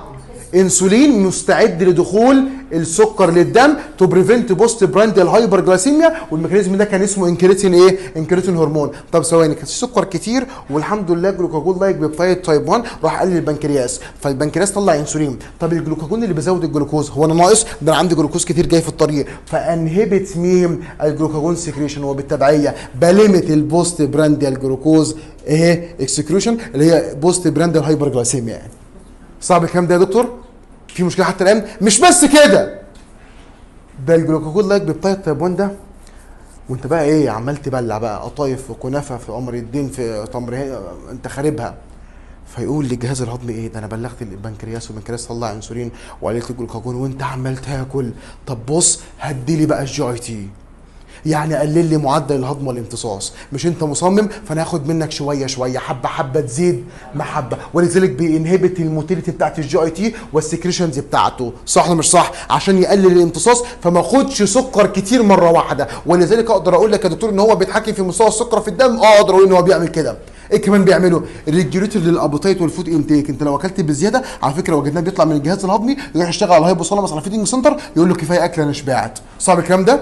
طب اسمع يا دكتور ال glucagon like peptide type 1 يا معالي الدكتور المحترم له receptor. ال receptor ده على فكرة قال لك ممكن أستخدم له receptor agonist يعني إيه؟ حاجة بتشغل ال receptor بتاعه. هستخدمه يا دكتور في type 2 diabetes يعني type 2 diabetes السكر صح؟ يا دكتور إيه المشكلة عندك؟ المشكلة عندك إن أنا عايز أقلل السكر في الدم. ده اللي هو بيعمله صح ولا مش صح؟ ب inhibit ال glucagon ويحفز شوية إنسولين مش بس كده ويقلل ال motility بتاعت ال GIT. أنت كل مشكلتك في type 2 diabetes mellitus إن البنكرياس تعبان. فأنا مش عايز سكر كتير يجي في الدم عشان الإنسولين ما بيقدرش يطلع قوي. صح ولا مش صح؟ فأنا أقوم محفز ال glucose ال glucagon like peptide type كام؟ type 1 فهيعمل إيه؟ هيحاول يزود لك شوية الإنسولين اللي باقيين. وي inhibit ال glucagon ويقلل ال motility بتاعت ال GIT. فمستوى السكر في الدم شوية يقل يا دكتور. صح ولا مش صح؟ صح يا دكتور محترم. ال glucagon like بتاعت type 1 قال لك بعد ما يخلص شغله قال لك inactivated ويحصل له mobilization يا معالي الدكتور المحترم. ماشي؟ وبعد كده زيه زي أي مادة في الجسم بعد ما بتشتغل بتبدأ إن هي إيه تتكسر وتترمي عادي جدا. طب بقول لك إيه دكتور؟ نعم ال secretion بتاعها وجبناه معالي الدكتور المحترم. بص كده may contribute to development of the obesity and exaggerated exaggerated secretion of إيه responsible for postprandial reactive hypoglycemia. مش فاهم الكلام ده. يعني يعني لو قلل الإفراز بتاعه مش هشبع. فادخل في إيه؟ في obesity ما هو لو decrease ال secretion بتاعه مش ده كان بيخليني أوقف أكل؟ صح؟ طب لو قل هدخل في obesity طب لو زاد؟ هيقلل الجلوكوز قوي فيعمل إيه؟ postprandial reactive hypoglycemia صعب يا ابني الكلام ده. كده خلص يا إيه ده؟ ده في شوية كمان؟ ما كنتش شايفهم والله ماشي. يلا. آخر حتة رقم سبعة. دكتور ال glucose dependent insulinotropic peptide ال GIP أخدناه فين؟ في ال GIT glucose dependent insulinotropic polypeptide ده عبارة عن إيه يا دكتور؟ ده كان بيطلع من entero peptide ال K cells اللي معايا دكتور محترم. خلي بالك من حاجة. بص present in high density فين في ال duodenum وال upper GIT كنت بقول لك في في ال في ال GIT ان هو بيطلع من ال upper GIT معايا دكتور محترم صح؟ بالك من حاجة. بص معايا. ال upper GIT اللي هو ال duodenum واول جزء من ال jejunum صح مش صح؟ صح يا دكتور. ولكن يا معالي الدكتور المحترم وجدنا إن هو أيضا ممكن ينتشر throughout بشكل عام. طب أنت عايز تعمل إيه يعني؟ هقول لك أول ما تبدأ تاكل oral ingestion الأكل هو لسه موجود في بقك يا معالي الدكتور بتبدأ يا معالي الدكتور المحترم عملية الامتصاص إنها إيه؟ تحصل لبعض ال nutrition زي الجلوكوز زي الجلوكوز بص هضم وامتصاص السكريات بيبدأ من الفم على فكرة. ولذلك أنت لو حطيت حبه سكر تحت بقك تحت لسانك هنا بيمتصوا من هنا؟ آه بيمتصوا من هنا. ولذلك لو واحد عنده hypoglycemia ومرمي في الأرض مغمى عليه بنحط له سكر تحت لسانه شوية أو حاجة مسكره تحت إيه؟ تحت لسانه. طب بقول لك إيه يا دكتور؟ نعم عايز إيه يعني؟ زي الجلوكوز بيمتص بسرعة وال high amount of ال amino acid وال long chain fatty acid trigger secretion of ال GIP. صح؟ حلو جدا. دكتور نعم. بيعملوا إيه يعني؟ لما يطلع ال GIP بشكل كبير جدا يا معالي الدكتور المحترم يقول لك ال K cell بتحس بوجود الجلوكوز عن طريق حاجة اسمها sodium coupled glucose transporter اللي هو SGLUT type 1 فاكرين ال SGLUT وال GLUT طيب أنا دلوقتي ك GIT لما يكون عندي SGLUT و GLUT كتير يبقى أنا عمال آخد إيه من ال- ال lumen جلوكوز كتير فهي تبدأ إن هي ك K cell موجودة جنب ال SGLUT type 1 ده عمال ياخد جلوكوز كتير جلوكوز كتير فتفهم إن الجلوكوز اللي رايح للدم ده كتير قوي فتقوم عاملة إيه؟ مطلعه ال GIP، ال GIP هدفه يعمل إيه؟ إنه يهدي الجلوكوز في الدم شوية، طب الأكشن بتاعه قال لك والله يا دكتور هو يعتبر inhibitor على ال acid secretion و prevent خروج مين؟ potent stimulant لمين؟ للانسولين مش هو هدفه إن لما يحس إن الجلوكوز زيادة يقوم مقلله في الدم شوية طب هو بيحس إزاي؟ كان موجود جنب ال SGLUT فلاقي ال SGLUT عمال ياخد جلوكوز كتير فبيقوم عامل إيه؟ طالع جري مخب بيرزع على البنكرياس عشان البنكرياس يجيب آخره ويطلع مين؟ الإنسولين والإنسولين ده يا دكتور بيعمل إيه بقى؟ post meal أو بعد الوجبة بيقوم يقلل الجلوكوز في الدم مرة أخرى شوية. ال phenomena دي معالي الدكتور المحترم لل higher insulin secretion response to oral glucose are are compared to ال intravenous glucose يعني عايز أقول لك إيه دلوقتي بقى؟ بص معايا. دكتور أنهي ممكن يزود الإنسولين أكتر؟ لو أنا حقنتك في ال في ال intravenous glucose ولا تاخده يا دكتور؟ orally orally طبعا لأن orally طبعا هو اللي كان بيحفز ال GIP وهو اللي كان بيزود الإيه؟ بعض الإشارات الزيادة على البنكرياس فبالتبعية يزود خروج الايه الإنسولين من البنكرياس أكتر وأكتر اللي معانا الدكتور المحترم صح؟ وده برضو يعتبر incretin effect صح؟ مش هو دكتور زاد الجلوكوز فاما زود الإنسولين عشان يقلل الجلوكوز تاني فده يعتبر برضو إيه؟ انكريتين إيه؟ incretin effect طب ماشي. عايز تقول لي تاني يا دكتور؟ عايز أقول لسيادتك ال GIP عامة يعتبر most potent ها؟ incretin hormone لأن هو بيقلل مين جامد في الدم. الجلوكوز بعد ما كان زيادة لأن هو بيحفز الإنسولين. ماشي؟ بص معايا along with glucagon like peptide type 1 مش ال glucagon like peptide 1 type 1 ده كان برضو بيحاول إن هو يقلل الجلوكوز شوية في الدم. آه طب ماشي. دكتور هدفهم يعملوا إيه بقى؟ مسؤولين لحد 70% من ال postprandial insulin response. يعني 70% من الاستجابة بتاعة الإنسولين بعد الأكل عشان يقلل الجلوكوز تاني المسؤول عنها يا معالي الدكتور ال GIP وال GLP type 1 اللي هو gluc- glucagon like ها؟ peptide type 1 وبالتبعية معالي الدكتور. وجدنا إن إحنا حاليا عملنا بعض الأدوية أو ال medications عامة اللي بتحتوي الاثنين مع بعض ال GLP type 1 وال GIP يا معالي الدكتور. ولذلك نقدر نستخدمهم في علاج ال diabetes يقللوا مين في الدم قوي؟ السكر. وكذلك يا دكتور كاستخدام لعلاج مين ال obesity على فكرة بيشتغلوا يا دكتور على ال hypothalamus يقللوا ال food intake وكمان بيقللوا مين الجلوكوز مين في الدم فيمنعوا حدوث ال obesity شوية. طب ماشي. دكتور بعد كده factor that predispose diabetes mellitus إيه الحاجات اللي أقدر أعتمد عليها وأقول إن العيان ده ممكن يجيله سكر قدام؟ هقول لسيادتك والله type 2 diabetes mellitus ده اللي أنا بتكلم عنه لأن type 1 ده بيبقى وراثي هو العيل المولود عنده السكر ده ماليش فيه بقى. لكن أنا بتكلم دلوقتي على type 2 diabetes mellitus قد يكون له عوامل genetic يعني العيلة كلها الأب والأم والجد كلهم عندهم سكر فغالبا الابن الجدع عندهم سكر عنده سكر صح؟ طب ماشي. ليه المشكلة؟ قد تكون مشكلة جينية في تصنيع الإنسولين نفسه. الإنسولين بيتصنع ولكن بشكل خاطئ. ما يعرفش يشتغل صح؟ أو المشكلة في ال receptor. الإنسولين بيتصنع سليم بس ال receptor فيه مشكلة. أو المشكلة في ال insulin receptor substrate أو في ال GLUT 4 أو glucokinase اللي بحرق منه الجلوكوز. صح ولا مش صح؟ فكل ده يا معالي الدكتور يؤدي إلى زيادة الجلوكوز في الدم فيما يعرف باسم hereditary cause المشكلة الجينية. أو واحد بلغ كتير. عمال ياكل سكريات كتير وبالتبعية بيعمل إجهاد أو اكزوشن على البنكرياس. البنكرياس يتعب من كتر ما بيخرج الإنسولين فيتعب البنكرياس ويقوم مفيص منك وما يطلعش انسولين كفاية لأنه تعب خلاص. فبالتبعية السكر في الدم يزداد قوي ويحصل diabetes إيه؟ mellitus بص كده معايا يا دكتور. قال لك obesity بتعمل down regulation لعدد الإنسولين receptor على ال target cell صح ولا مش صح؟ يا دكتور. آه وبالتبعية بقى. making ال amount of الانسولين اللي available يا معالي الدكتور بتكون إيه؟ less أو أقل صح ولا مش صح؟ لأن خلاص البنكرياس تعب صح؟ بص ده less effective وكمان مش شغالة. ال free fatty acid الزيادة اللي أنت عمال تزودها في الدم بسبب ال obesity والأكل اللي أنت عمال تاكله هقول لسيادتك والله دي بتعمل إيه؟ بت inhibit الإنزيمات المسؤولة عن ال GLUT 4 free fatty acid لما تزيد داخل الخلايا وداخل الجسم بت inhibit ال GLUT 4 اللي كان بينقل جلوكوز داخل الخلايا وبالتبعية وبالتبعية مفيش GLUT 4 بيفضل موجود هو في ال endosome عادي جدا داخل الخليه وما يطلعش على membrane من بره. ولذلك اللي يحصل بقى يا دكتور؟ ها؟ الجلوكوز يفضل يتراكم فين؟ في ال blood أو الدم. يعمل hyperglycemia يعني diabetes mellitus يا دكتور.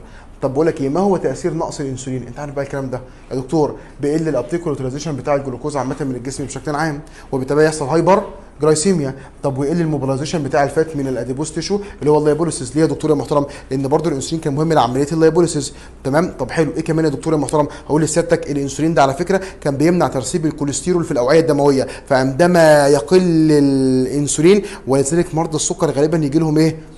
atherosclerosis وجلطات وكلام من ده يقول لك إن السكر بيجيب جلطات آه السكر بيجيب جلطات ليه بقى لأن الإنسولين يا دكتور لما بيقل قال لك خلاص بيزود ال deposition بتاع الكوليسترول في ال arterial wall وبالتالي يعمل atherosclerosis وممكن يحصل thrombosis on top of atherosclerosis ويحصل جلطة فوق مين فوق تصلب الشرايين طب إيه كمان يا دكتور هقول لك إيه بص يا ابني معايا بيقل البروتينات داخل ال tissue بشكل عام ليه بقى؟ لأن الإنسولين ده كان المسؤول إن هو يعمل uptake لل amino acid من الدم إلى داخل ال tissue عشان يصنع مين؟ عشان يصنع البروتينات. صعب يا ابني الكلام ده؟ في مشكلة حتى الآن؟ أدي كده يا عم ال endocrine بالكمام والتمام عندك خلص. مفيش ولا حرف موجود عندك في ال endocrine ما تراجعش معاك. خلاص؟ صعب الكلام ده يا ابني؟ وقف كده يا عم كده ال endocrine خلص. تعالى بقى نكمل في اللي بعدين. نسمي الله. وتعالى دلوقتي بقى يا دكتور نتكلم مع بعض عن ال male reproductive system أول ما أجي أتكلم معاك يا دكتور عن ال male reproductive system هقول لسيادتك أن الأعضاء التناسلية بالنسبة لل male أو الراجل بتنقسم إلى primary و secondary وحاجات external ال primary sex organ هو مين؟ ال testis أو الخصيتين. عند حاجات يا دكتور secondary اللي هي ال internal sex organs اللي هم مين؟ اللي هو system ال duct اللي أنت شايفه كل ده وال glands اللي موجودة سواء Cowper gland أو seminal vesicle أو حتى البروستات وكل الحاجات دي. صعب الكلام ده يا ابني؟ طيب يبقى ده ال primary sex organ اللي هو مين يا دكتور؟ ال testis. وبعد كده عندك يا دكتور secondary اللي هو مجموعة من الأنابيب epididymis مجموعة من الغدد أو ال glands اللي موجودة في المسار قدام سيادتك أهو. وعندك external organ ألا وهو مين؟ ال penis أو القضيب. طيب بعد كده يا معالي الدكتور عايزين نتكلم مع بعض واقول لسيادتك الاتي بص يا ابني معايا. أنا يهمني دلوقتي إن أنا أعرفك ال primary sex organ دوت ألا وهي ال testis شكلها بيكون عامل إزاي. لما أجي أبص عليها يا معالي الدكتور بص يا ابني في الجمال ده. ال primary ال primary sex organ الا وهو ال testis. بص يا ابني ال testis شكلها بيكون عامل كده. دكتور مالها يعني؟ قال لك ال testis ده هي ال primary sex organ وهو المكان اللي بيتم فيه عملية تصنيع ال sperms أو الحيوانات المنوية. فهو مسؤول عن ال spermatogenesis مش بس كده كذلك يا صديقي العزيز وجدنا إن ال testis أو الخصيتين مسؤولة عن إنتاج هرمون الذكورة في الراجل فيما يعرف باسمه التستوستيرون وهو نوع من أنواع الاسترويد hormones. طيب بما إن ال organ ده مهم قوي للدرجة دي تعالى أكلمك كده سريعا عن ال blood supply بتاعه. لما أجي أبص على ال blood supply بتاعه لقيته يا دكتور tortuous بهذا الشكل وجدنا معالي الدكتور إن ال artery نازل وفي مقابله مين طالع ال vein ولذلك يا دكتور ده هم بيعملوا زي counter mechanism كده هيتبادلوا مع بعض الحرارة وبعض من الهرمونات. صح ولا مش صح؟ ده شكل يا دكتور ال blood supply بتاع مين؟ بتاع ال testis طب تعالى ندخل جوه ال testis كده شوية. ونبص جواها يا دكتور هتشوف الشكل قدام سيادتك ده. دكتور مش ادي ال testis اهي أنا قطعت فيها cut section كده. هلاقيها مليانة أنابيب من كده من جوه. الأنابيب دي يا دكتور تسمى seminiferous tubules تسمى إيه؟ طب تعال نبص كده. seminiferous tubule seminiferous tubule seminiferous tubule وهكذا. وحواليها يا دكتور خلايا صغيرة أهي. عارف الخلايا دي اسمها إيه؟ ال Leydig cell. طب حد فاكر ال Leydig cell دي كانت بتطلع إيه؟ كانت بتطلع تستوستيرون تاني. يبقى دكتور دي تسمى seminiferous tubule ودي تسمى ال Leydig cell. طب ال Leydig cell كانت بتطلع إيه؟ تستوستيرون. كانت بتطلع إيه؟ تستوستيرون يا دكتور. طب ماشي كلام جميل جدا. دكتور نعم. تعال ناخد جزء كده حبيب قلبي الغالي من ال seminiferous tubule ونبص عليه كده. موجود عندك تحت هنا خالص basement membrane قاعد عليه دكتور spermatogonium اللي هي الخلايا الأولية اللي بيتم تصنيع الحيوانات المنوية منها. اللي هي تسمى spermato go spermatogonium. دكتور نعم. ال spermatogonium دي على فكرة بتبدأ إن هي يحصل لها development و divisions وانقسامات طول ما أنت ماشي كده تجاه ال lumen بتاع ال tubule إلى أن ينتهي بها المطاف على هيئة sperm في ال center أو المركز بتاع ال tubule اللي هو ال spermatid ثم ينتهي به المطاف ك sperm أو كحيوان منوي. دكتور نعم هل هناك أنواع أخرى من الخلايا؟ قال لك آه في خلية غاية في الخطورة والجمال تسمى ال Sertoli cell وال Sertoli cell دي يا دكتور بتعمل حاجة اسمها ال blood testis barrier وبتعمل حاجة إنها بتغذي الايه؟ ال cells أو الخلايا دي. طب ماشي كلام عظيم جدا. كلمني بعد كده بقى يا دكتور أنا بديك بس overview فكرة عامة وبعد كده هنشرح مع بعض من الملزمة بالتفصيل ما تخافش.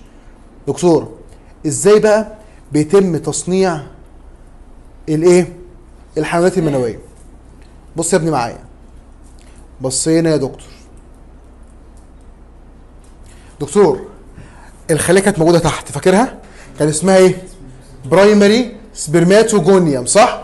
ادي يا دكتور ال primitive cell أو الخلية الأولية تسمى primary spermatogonium أول نوع من الانقسام بتخضع ليه؟ انقسام ميتوزي تدخل في mitotic division دول بتدي 2 2 n و 2 n 2 نون و2 نون صح؟ إن الانقسام الميتوزي بيساعد على الحفاظ على عدد مين الكروموزومات. حصل ما حصلش؟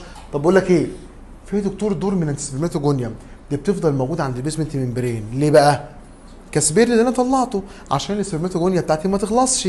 فاهم قصدي؟ طب ثواني طب والنوع الثاني يا دكتور بسميها secondary spermatogonium يبقى بدأت ب primary. انقسمت انقسام ميتوز هشتغل على واحدة تسمى secondary spermatogonium أهي ال secondary spermatogonium دي هي اللي بتدخل خط الإنتاج عشان تدي حيوانات منوية. طب إزاي بقى؟ ركز معايا. دكتور! ال secondary spermatogonium بيحصل لها إيه؟ قال لك لا تنقسم في البداية. كل اللي بيحصل لها إن هي بتبدأ انها تكبر في الحجم بتاعها. ويحصل لها more and more development عشان تتحول من spermatogonium إلى spermatocyte أولية. تتحول إلى إيه؟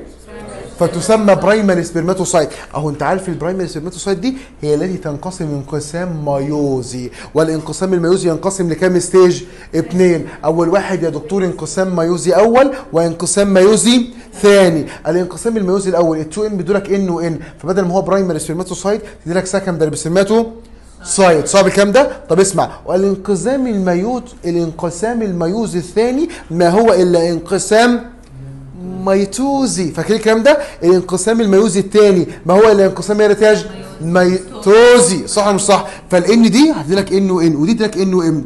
فال secondary spermatocyte يدي spermatid وال spermatid ده بيدخل في عملية spermiogenesis اللي هو تكوين الحيوانات المنوية ويتكون بالشكل ده كده. وكده ألف مبروك. سمعونا زغروطة. إحنا كده كونا sperms أو حيوانات منوية ونقول تاني من الأول يا دكتور. ركز يا ابني معايا. كان عندك مجموعة من الخلايا موجودة على ال basement membrane تحت. تسمى primary spermato تسمى primary spermatogonium. تسمى primary spermatogonium. طب بتطلع إيه يا دكتور؟ قال لك والله بتنقسم. انقسام إيه؟ ميتوزي. في منها واحدة بتفضل موجودة عند ال basement membrane ك spare عشان إيه؟ عندي ما يخلصش. وواحدة ثانية تسمى secondary spermatogonium هي دي اللي بتدخل خط الإنتاج صح؟ تكبر شوية. تتحول إلى إيه؟ spermatocyte أولية تسمى primary spermatocyte هي دي تنقسم انقسام ميوزي. والانقسام الميوزي ينقسم إلى انقسام ميوزي أول وانقسام ميوزي ثاني. الانقسام الميوزي الأول يا دكتور ال primary spermatocyte تدي لك secondary spermatocyte صح؟ وال secondary spermatocyte يا دكتور هي دي بقى بتنقسم انقسام ميوزي ثاني. والانقسام الميوزي الثاني ما هو إلا انقسام ميتوزي يدي لك n و n و n و n يبقى الخليه الواحدة تدي لك كام حيوان منوي؟ أربعة حتى الآن هم يا دكتور ده يسمى spermatid اللي بيدخل في spermiogenesis ويتحول إلى spermatozoa يكتسب ال tail وال acrosomal cap وهكذا. الدورة اللي قدام سيادتك دي يا دكتور بتحصل كل 64 يوم. يجي واحد يقول لي ياه هو الراجل ما بيصنعش حيوانات منوية غير كل 64 يوم؟ هقول له أنت غبي. لأن النهارده اكتمال 64 يوم لدورة وبكرة اكتمال 64 يوم لدورة وامبارح اكتمال إيه؟ 64 يوم لدورة أخرى وهكذا. فاهم قصدي يا ابني؟ تمام يا دكتور. طب بقول لك إيه؟ نعم. وجدنا أيضا خلي بالك من حاجة إن الخلايا ذات نفسها بتبدأ إن هي يحصل ما بينها جاب جانكشن عشان تبادل بعض من الكروموسومات وده حاجة مهمة جدا جدا يا دكتور عشان تدي بعض المعلومات من هنا لهنا ومن هنا للعكس زي ما هتعرف كمان شوية. طيب عايز تقول لي إيه كمان يا دكتور؟ ركز كده معايا في الفيديو ال animation الجميل ده. spermatogenesis لو انت فاكر معايا الفيديو ده اللي بيحصل يا ولدي كالتالي. دخلنا جوه ال testis ادي ال testis اهو هندخل جوه نشوف ال seminiferous tubules. ادي داخلين عند ال seminiferous tubules اهي ندخل جوه ال tubule. بص شوف دي شوف دي أنا وقفت اهو. اللي عند ال basement membrane تحت ده يسمى إيه؟ spermatogonium صح؟ عمالة تنقسم تنقسم تنقسم عشان تدي مين في ال center؟ spermatid ثم ال sperm طب مين الخلايا اللي واقفة الطويلة دي؟ Sertoli cell ما هي الا مين؟ Sertoli cell شايف الجمال؟ أهو دخلت جوه. بص كده معايا. الخلايا عمالة تنقسم أهي. بص بص بتنقسم أهي. اتنين بقت واحدة اتنين فاهم قصدي؟ عشان تدي مين هنا في الآخر؟ spermatid صح ولا مش صح؟ ده بيقول لك ال primary spermatocyte بتنقسم عشان تدي مين؟ ال secondary بعد هو بدأ من ال spermatocyte بتنقسم عشان تدي مين يا دكتور؟ ها؟ ده primary بتدي مين؟ ال secondary. طيب ال secondary بقى هي اللي بتنقسم انقسام إيه؟ ميوزي صح؟ طب حلو. اهي بص بص شوف دي شوف دي شوف دي شوف دي شوف دي. هتدي واحد اتنين تلاتة أربعة. أربعة spermatid هيدوا أربعة حيوانات منوية أو أربعة إيه؟ sperms بص كده معايا. ده يسمى spermatid بيكتسب بقى ال tail بتاعه ويتحول إلى sperm أو حيوان إيه؟ أو حيوان منوي زي ما هيحصل قدام سيادتك دلوقتي. شوف دي ال spermatid تتحول إلى إيه؟ إلى سبيرم أو حيوان منوي صعب الكلام ده؟ طبعا كل من هو مسبهل بالفيديو وهو ما حضرش الشرح الأساسي يا ريتاش. أوبا. مين في النص هنا بقى؟ السبيرمز أو الحيوانات الايه المنوية. في مشكلة حتى الآن؟ طيب دي بقى بتمشي في سبيرم فاستيبيول عشان بعد كده بيحصل لها ايجاكوليشن أثناء القصف عامة بالنسبة للفيميل. طب مين الخلايا اللي بتنور ده على فكرة؟ شفتوها من شوية؟ سيرتوا لي إيه بص حياتي المنوية ماشية إزاي؟ جيش من التتار زي ما كنا بنقول. خلاص؟ ماشي يا دكتور. ال sperm شكله عامل إزاي؟ دي ال head ده ال middle piece بتاعته أو بحب أسميها ال body وادي ال tail. صح؟ كنت بقول لك ال head ده يا دكتور بيحتوي على النواة. اللي فيها المادة أو ال DNA اللي هيروح يرميها داخل مين البويضه صح؟ ال cap ده يسمى acrosome ال cap أو ال acro. some دي تسمى ال head. طب بقول لك إيه؟ الحتة ال middle دي اللي هي أحيانا بعض المراجع بت- بتعتبرها جزء من ال tail ما عنديش مشكلة. بتحتوي على الميتو كوندري. الميتوكوندري دي هي مصنع الطاقة داخل مين داخل هذا ال sperm. هي مين يا دكتور؟ مصنع الطاقة داخل هذا ال sperm. طب ماشي. طيب ركز بقى كده معايا. افتح سيادتك الملزمة وتعال نبص مع بعض. ال male reproductive system اللي بيحصل يا دكتور ال primary sex organ هي ال testis صح ولا مش صح؟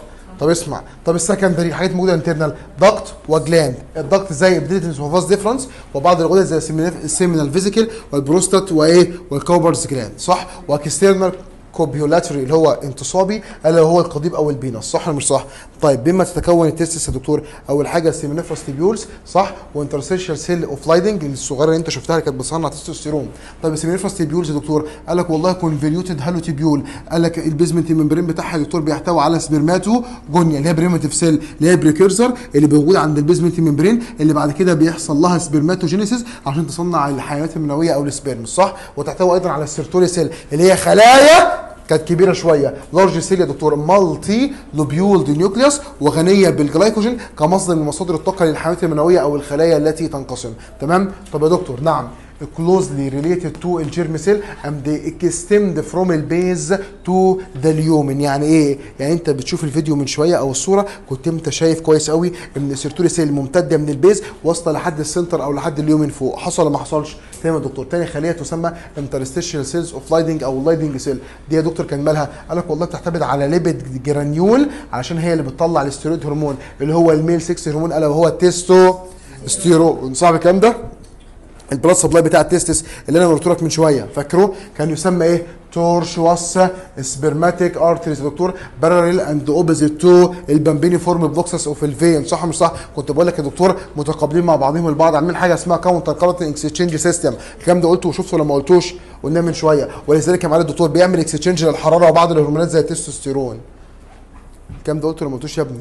لا والله في رسمة من شوية. طب ماشي كلام جميل جدا. Spermatogenesis يا دكتور اللي هو إنتاج الحيوانات المنوية. ال producing of mature spermatozoa دكتور إيه اللي بيحصل؟ أقول لسيادتك العملية ديت هل هي بتفضل تتكون في ال male عامة من أول ما يتولد أقول لسيادتك لا. بل ان ال spermatogenesis أو تكوين الحيوانات المنوية قال لك بيحصل لها suppression من بعد ولادة ال male لحد أن يصل إلى ال puberty أو البلوغ. طب إمتى بتبدأ الحيوانات المنوية تتصنع يا دكتور؟ أقول لك after puberty after إيه؟ puberty أهو. At puberty يا معالي الدكتور المحترم ال original germ cell اللي هي spermatogonium بتبدا إن هي تنقسم. بص كده معايا. أول حاجة بتنقسم انقسام ميتوزي. ال spermatogonium يتحول إلى secondary spermatogonia صح؟ وفي واحدة كمان كان بيحصل لها إيه؟ بتتخزن بتتثبت زي ما على ال basement membrane طيب ال secondary spermatogonia دكتور دي كانت 2 n يعني 44 XY صح؟ اللي هي 2 n يعني. كانت بتوصل معايا دكتور يحصل لها إيه؟ ها؟ انقسام إيه؟ Meiosis يا دكتور بتدي إيه بقى؟ ال secondary spermato بتزيد في الحجم بتاعها وتصبح primary spermatocyte. دي بقى لما تبدا تنقسم بتتحول إلى إيه؟ second ال primary تحول إلى secondary spermatocyte. الرسمة اللي شفتها من شوية يا ابني. صح؟ ذاكرها من الرسم أحسن من العك ده كله. ذاكرها من الرسم أحسن عادي. تمام؟ تحول إلى secondary spermatocyte. هو ده بقى يا معالي الدكتور المحترم اللي هو عبارة عن إيه يا دكتور؟ 22 زائد 22 22 X زائد 22 Y اللي هو برضه haploid number. طب يا دكتور نعم. بعد كده انقسام إيه؟ الميوز الثاني الانقسام الميوز الثاني دوت قال لك بيتحول إلى spermatid. مش كنت بقول لك يا ابني إن الانقسام الميوز الثاني ما هو إلا انقسام ميتوزي حلو. اللي هو haploid number اللي هو n واحدة. تمام؟ بعد كده spermiogenesis بيتحول الايه ال spermatid إلى sperm أو حيوان منوي أنا بالنسبة لي كل الكلام ده لخبطك. لما تيجي تذاكرها يا ابني أحب قوي إنك تذاكرها مع الدكتور من الرسمة اللي قدام سيادتك دي اللي هي ده أهي. أهي اللي هو كان عندك primary spermatogonia بتبدأ تنقسم انقسام ميتوزي صح؟ قال لك يا دكتور dormant spermatogonia دي بتفضل موجودة. و secondary spermatogonia تدخل خط الإنتاج تكبر شوية primary spermatocyte spermatocyte أولية. تنقسم انقسام ميوزي أول وثاني يكون spermatid يقوم عامل إيه؟ spermatozoa spermiogenesis أنا أسهل؟ ده أسهل بكتير طبعا.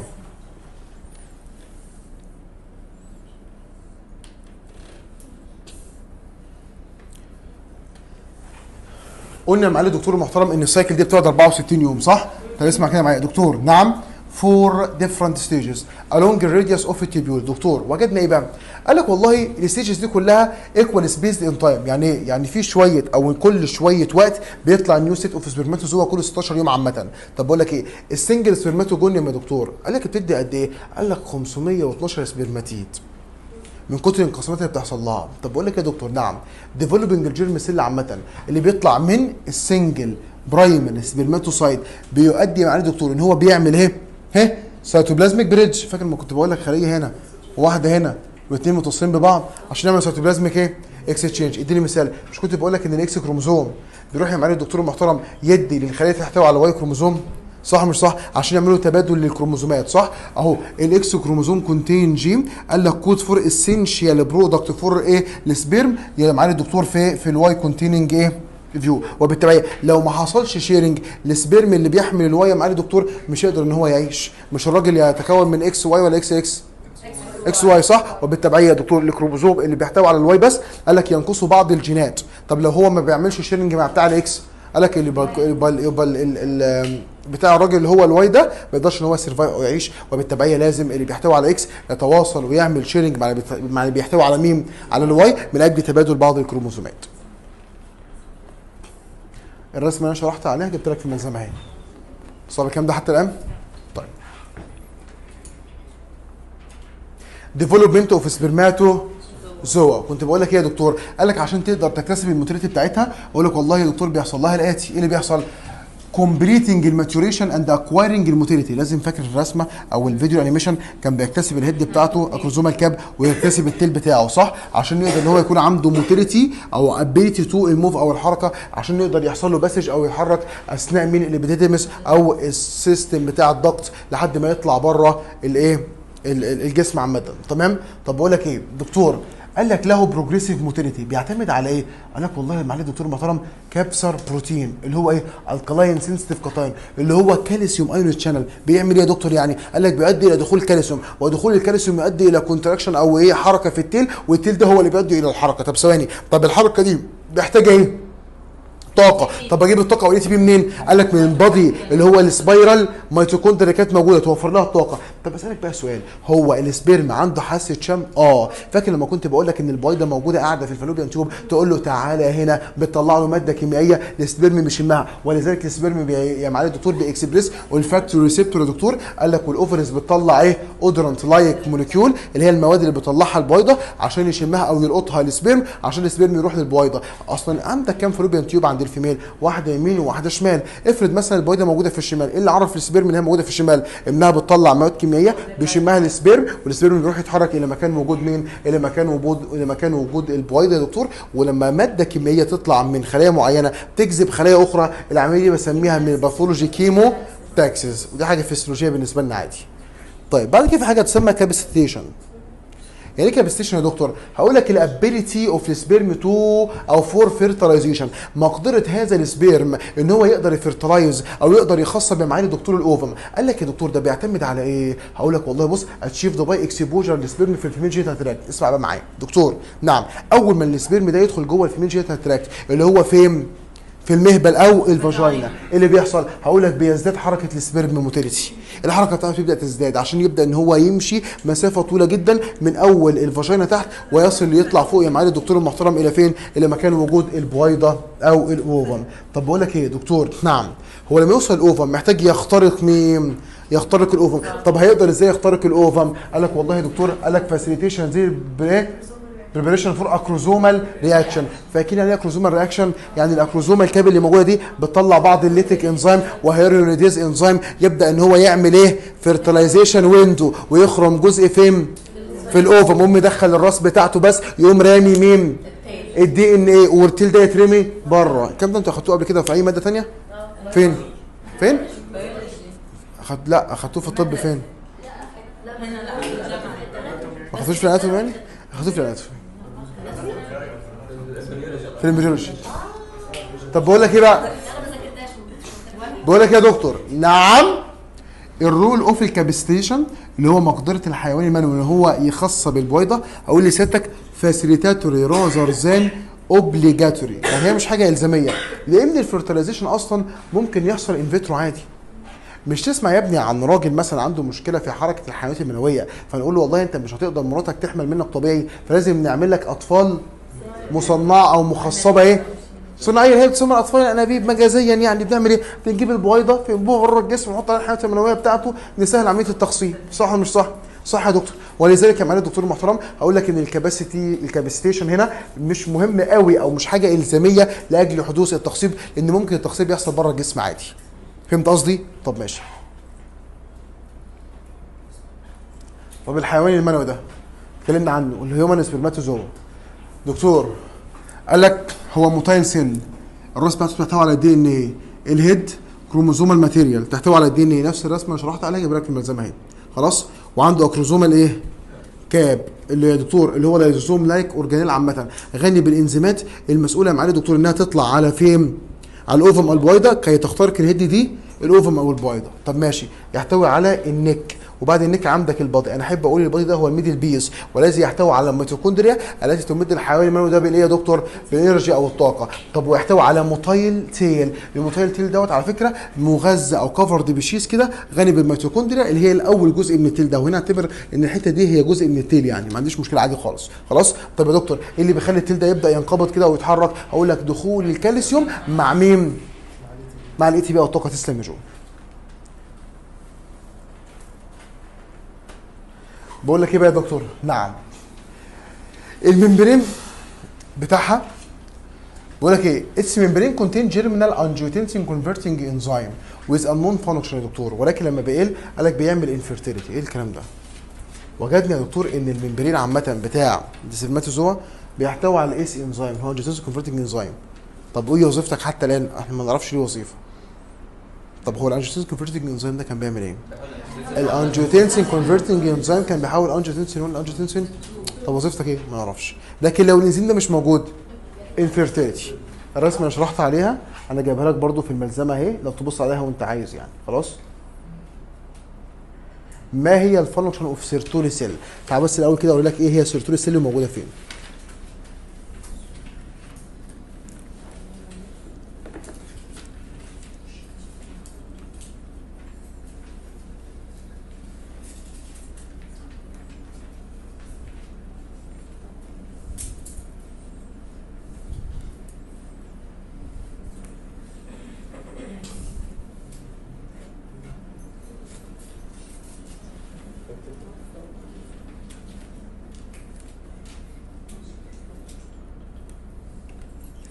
بص كده معايا. دكتور. Sertoli cell بص كده معايا يا ابني. اللي قدامك سيادتك دي كلها دي الخلايا spermatogonium primary spermatocyte وال secondary spermatid ثم ال sperm في ال center هنا طيب اللي تحت ده يسمى ال basement إيه؟ membrane هنا موجود ال blood أو؟ الدم. أسألك سؤال بقى. هو ده 2 n صح؟ يعني الجسم متعود عليها عادي. طب هنا ده كام n؟ واحد n اللي هو ال haploid number of chromosome. الجسم يشوف الواحد n ده بتاعتك ولا حاجة غريبة؟ فالجسم ممكن يطلع antibody تضربها ولذلك كان من لطف الأقدار يا ولدي إن ربنا خلق هنا حاجة تسمى blood testis barrier يعني إيه blood testis barrier قال لك ده حاجز يا معالي الدكتور بيفصل ما بين مين ومين بيفصل ما بين الدم اللي موجود تحت وما بين مين هنا؟ الخلايا دي كلها. هو التصوير بالنسبة لك تمام ولا عايز أهدي الإضاءة؟ طب ممكن تهدي الإضاءة شوية؟ بعد إذنك يعني. كده أحسن؟ طب حلو. كله شاف كده أحسن يا شباب؟ يلا ما تعودوش على كده. المهم فأنا عندي إيه بقى؟ آدي يا دكتور الخلايا الحمراء دي كلها والخلايا دي تسمى ال Sertoli cell بيعمل ال blood testis barrier ده. بيفصل ما بين ال blood وما بين مين؟ الخصية هنا أو ال testis وال center بتاعه من هنا كده بيحتوي على tubular fluid ال tubular fluid ده يا معالي الدكتور المحترم وجدنا جواه هرمونات أكتر من البروتين والجلوكوز والجلوكوز. يعني هنا بيحتوي على تستوستيرون وأندروجين كتير. يحتوي على يا دكتور بوتاسيوم كتير. يحتوي على استروجين كتير. هرمونات أكتر منه مواد غذائية. صح؟ ويحتوي على كمية قليلة من البروتين والجلوكوز. طب ماشي. هي المية اللي قدام سيادتك دي تسمى tubular fluid طب يا دكتور ال blood testis barrier ده barrier أي barrier في الجسم إما يسمح بمرور مواد يعني allow عبور مواد معينة أو prevent مرور مواد أخرى. طب عايزين نشوف هو يسمح بمرور إيه؟ يعني بي allow إيه؟ ال steroids اللي هو إيه ال steroids يا دكتور؟ التستوستيرون لو موجود في الدم عايز يدخل أو موجود هنا وعايز يخرج عادي. بيسمح بمرور مين؟ الاسترويد طب اسمع وال germ cell الخلايا الموجودة دي لو عايزة إن هي يا دكتور تنقسم وتطلع لفوق عادي جدا دي بتتكسر؟ توسع لها تطلع لفوق بعد كده تتبني تاني. يعني بتسمح بمرور مين؟ ال germ cell. صعب الكلام ده يا ابني؟ في مشكلة؟ يبقى تسمح بمرور الاسترويد اللي هو التستوستيرون وعلى فكرة كمان والإستروجين. الإستروجين ده اللي هو من ضمن ال female sex orga sex hormones على فكرة. مهم بالنسبة لنا كرجالة هنا. طب ليه يا دكتور؟ هقول لسيادتك إن هو موجود في الدم. عشان يعدي لازم يعدي من ال blood من ال blood testis barrier فعندك هنا يا دكتور ده ال barrier اللي هو بسبب Sertoli cell بيسمح بمروره عادي جدا. طب بيمنع مرور إيه؟ لو في أي toxin موجود في الدم هنا. صح مش صح؟ ال toxin ده أو البكتيريا هل يسمح بإنها تعدي لل testis هنا قال لك لا prevent يا دكتور ال harmful ال toxin. طب بقول لك يا دكتور؟ نعم. لو في خلية من دول اتسربت راحت للدم كارثة ومصيبه سوداء الدم يشوف مثلا ال spermatid دوت أو ال secondary spermato آه cyte أو الكلام ده اللي هي واحد n دي يشوفها جسم غريب. ويطلع قصادها antibody ال antibody ده على فكرة لو موجودة في الدم وعايزة تعدي هنا هتضرب كل الخلايا دي وتموتها. فال blood testis barrier ده بيمنع مرور أي دكتور antibody من هنا إلى داخل مين؟ إلى داخل ال testis ويمنع مرور أي خلية من هنا للدم لأن الخلية دي تعتبر antigen غريب بالنسبة للجهاز المناعي. فهو prevent ال antigenic إيه؟ ال proteins أو ال antigenic cells اللي موجودة هنا إنها تعدي إلى الدم يا دكتور من ال testis إلى الدم عشان الجهاز المناعي ما يكونش قصادها اجسام مضادة ويروح يضرب الخصيتين أو ال testis فده يسمى ال blood testis إيه؟ barrier طيب كلام جميل جدا. إيه كمان يا دكتور؟ ما زلنا مستمرين في ال Sertoli cell وتعالى أكلمك في ال functions أو الوظائف بتاعة ال Sertoli cell فركز معايا. بص كده معايا يا ابني. دكتور كلمني عن ال functions أو الوظائف بتاعة ال Sertoli cell. وهو كذلك يا دكتور نسمي الله ونقول مع بعض. أول حاجة إحنا قلنا من شوية إنها تحتوي على الجلايكوجين يبقى هي مسؤولة عن nourishing و nursing و protection مسؤولة عن تغذية وحضانة وحماية مين؟ الخلايا اللي هي اللي اسمها ال spermatogonium. اللي أن تكون ال spermatid اللي هو مين يا ابني قدامك؟ اللي هو ال sperm أو مين يا ابني؟ الحيوانات المنوية. هتكملوا الحصة وانتوا واقفين؟ لو ما صحصحتوش معايا. خلاص؟ طب إيه كمان يا دكتور؟ phagocytic role لو في أي جسم غريب أو أي دكتور debris من الانقسامات قال لك والله Sertoli cell ما تاثرش تقوم واخدها واكلاها. قال لك والله لها secretory role قال لك بتقدر إن هي دكتور تتحكم وتطلع دكتور أكتر من هرمون. خمس هرمونات هتكلم عنهم. دكتور نعم.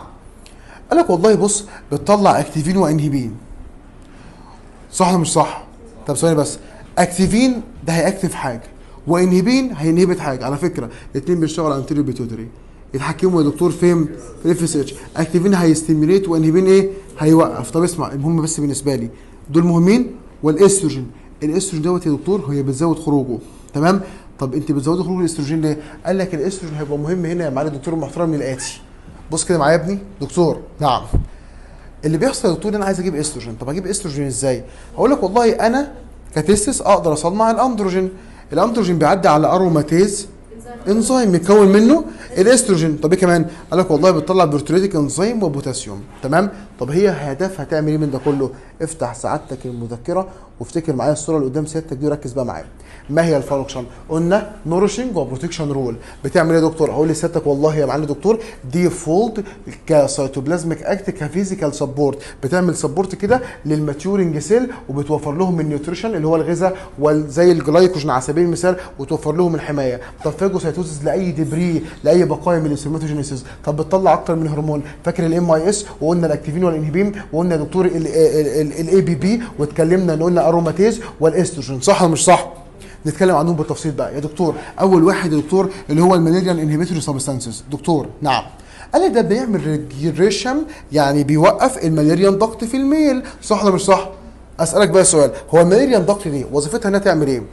تكون male ولا female female صح؟ طب ده male يبقى هعمل لها إيه؟ inhibition طب مين بيعمل لها inhibition يا دكتور؟ ال MIS اللي هو Mullerian inhibitory substances بتطلع من يا دكتور من ال Sertoli cell في الخصية بتتكون عند ال male. طب activin بيزود FSH و inhibin بيقلل FSH طب في حاجة كمان اسمها ال ABP اللي هو ال androgen binding protein ثواني مش إحنا قلنا يا دكتور إن ال إن ال في هنا lumen يحتوي على fluid صح؟ في ال seminiferous tubule ال fluid ده كنت بقول لك يا دكتور هو مية. طب والأندروجين ده عبارة عن إيه؟ ستيرويد هل يختلط ذاته بالماء؟ أقول لك لا ولذلك الأندروجين الذي يوجد يا صديقي العزيز المحترم في ال center بتاع ال tube في ال fluid أقول لي سيادتك بيحتاج إيه؟ بيحتاج إيه؟ binding protein يسمى androgen binding protein طب ده هدفه إيه؟ إن هو يحافظ على تركيز الاندروجين عالي داخل ال tubular fluid طب إيه كمان؟ ال aromatase. فاكر كنت بقول لك إن هو بيحول هرمون الذكورة إلى هرمون الانوثه كان بيحول يا معالي دكتور المحترم الاندروجين إلى استروجين طب الاستروجين يا دكتور موجود وتعرف وظيفته إيه كمان شوية؟ طيب بيطلع كمان بعض ال proteolytic إيه؟ enzyme of ال tight junction بت help progress أو development of الايه of ال germ cell toward ال lumen بص كده معايا يا ابني. هي بتطلع بعض ال proteolytic enzyme عشان تكسر مين ال barrier بتاعها وتطلع بعض الخلايا من تحت لفوق toward ال lumen يا دكتور. يعني أثناء الانقسامات المتعددة اللي أنت أخدتها. الكلام ده فيه مشكلة؟ فبتطلع ال proteolytic enzyme تكسر ال barrier تعدي الخلية تبني تاني بعدها. مفيش مشكلة يا دكتور. بقول لسيادتك إيه؟ ال fluid ده قال لك ماله؟ بيختلف عن البلازما. قلنا بيحتوي على غذاء قليل وهرمونات كتير كنت بقول لك لو بروتين ولو جلوكوز ولكن عندك androgen و estrogen وبوتاسيوم كتير جدا يا دكتور. ده المهم بالنسبة لي. طب بقول لك يا دكتور أنت عمال تقول لي إستروجين هرمون أنوثة. هو الإستروجين هيعمل إيه بالنسبة لي؟ أنا في الخصيتين كراجل. تعالى وأنا أقول لك يا ابني. وجبنا بقى إن الإستروجين دوت بيمسك يا معالي الدكتور على estrogen receptor موجود في ال testis عادي جدا. طب وظيفته إيه؟ فاكر يا ابني لما كنت بقول لك إن الإستروجين دوت عامة مسؤول عن ال reabsorption بتاع المية؟ كان بيزود ال water إيه؟ reabsorption وذلك الاستروجين هنا هيزود ال water reabsorption معالي الدكتور المحترم وبالتبعية يا دكتور water إيه؟ reabsorption يعني يزود المية في ال tube ولا يقللها؟ زودها يقللها يا محنكين يا أغبياء. water reabsorption يعني برجع الميه للدم. أي حاجة. والله كنت عارف إنك كنت الغلطه دي. هو كمان سريع في ال rhythm شوية؟ بالراحة خالص. يبقى في حاجة يا معالي دكتور هشرح بال rhythm ده بقى. يبقى في حاجة يا معالي دكتور تسمى الإستروجين. تسمى إيه؟ ده يا دكتور بيعمل water reabsorption و reabsorption تعني رجوع الماء إلى الدم. يا لهوي على ال level اللي أنا نزلت له. يعني رجوع مين الماء إلى الدم.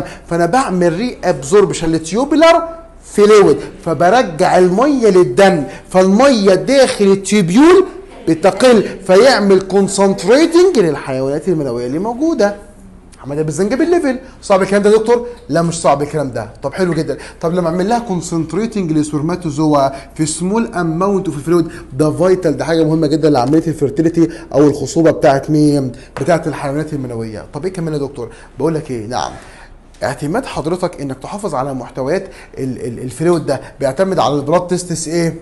barrier اللي أنا وريتك شكله من شوية. وتكون أيضا ال Sertoli cell حاجة اسمها blood testis barrier اللي هو عبارة عن tight junction ما بين ال adjacent Sertoli cell يا معالي الدكتور قريب من تحت قريب من البيزا لامنا البيزمنت ممبرين بيكنترول الباسج اوف سيرتين موليكيولز من ال interstitial tissue وإلى الدم أو من الدم يا معالي الدكتور إلى إلى ال lumen تمام؟ prevent و allow بيسمح بمرور حاجات ويمنع مرور حاجات. طب prevent مين؟ قال لك والله antigenic product اللي هو مثلا الحاجات بتطلع من ال spermatogenesis اللي هو حيوان منوي يمنع إن هو يروح للدم. عشان هو لو راح للدم وعدى من ال spermatogenic tubule to the blood ده كده المناعة هتشوفه كجسم غريب وتعمل autoimmune response وتضرب ال testis أو الخصيتين فأنا مش عايز القصة دي تحصل. طب أمنع إيه كمان؟ حاجات ضاره من الدم إلى ال testis. harmful blood agent to pass to tubular fluid طب بسمح بمرور steroids اللي هي مين يا دكتور التستوستيرون أو الإستروجين عادي. أو يا معالي الدكتور maturing germ cell انها تعدي من تحت لفوق. بكسر عن طريق proteolytic enzyme بكسر ال barrier بعد كده أعدي الخلية ثم أبني ال barrier مرة أخرى يا معالي الدكتور المحترم صعب الكلام ده؟ أقول لسيادتك أهو بعمل progressive breakdown of ال tight junction عشان اللي معالي الدكتور أعدي ال germ cell بعد كده أبدأ نعمل formation of new junction عادي جدا وايه without إيه؟ disruption of ال barrier من آه من غير يا دكتور ما ابوظ ال barrier. ده أنا بس البارير دوت بقوم فاتحه مكسر منه حتة تعدي الخلية وأقوم قافل بسرعة تاني. صعب الكلام؟ ده يا ابني طيب. دي وظيفة مين؟ Sertoli cell هناك بعض ال factors أو العوامل التي تؤثر على ال spermatogenesis اللي هو تصنيع الحيوانات المنوية. أول واحد luteinizing hormone. ثواني بقى. ما هو دور ال luteinizing hormone؟ فاكر نوع من الخلايا يسمى interstitial cell of ال Leydig كانت موجودة يا دكتور في ال testis صح؟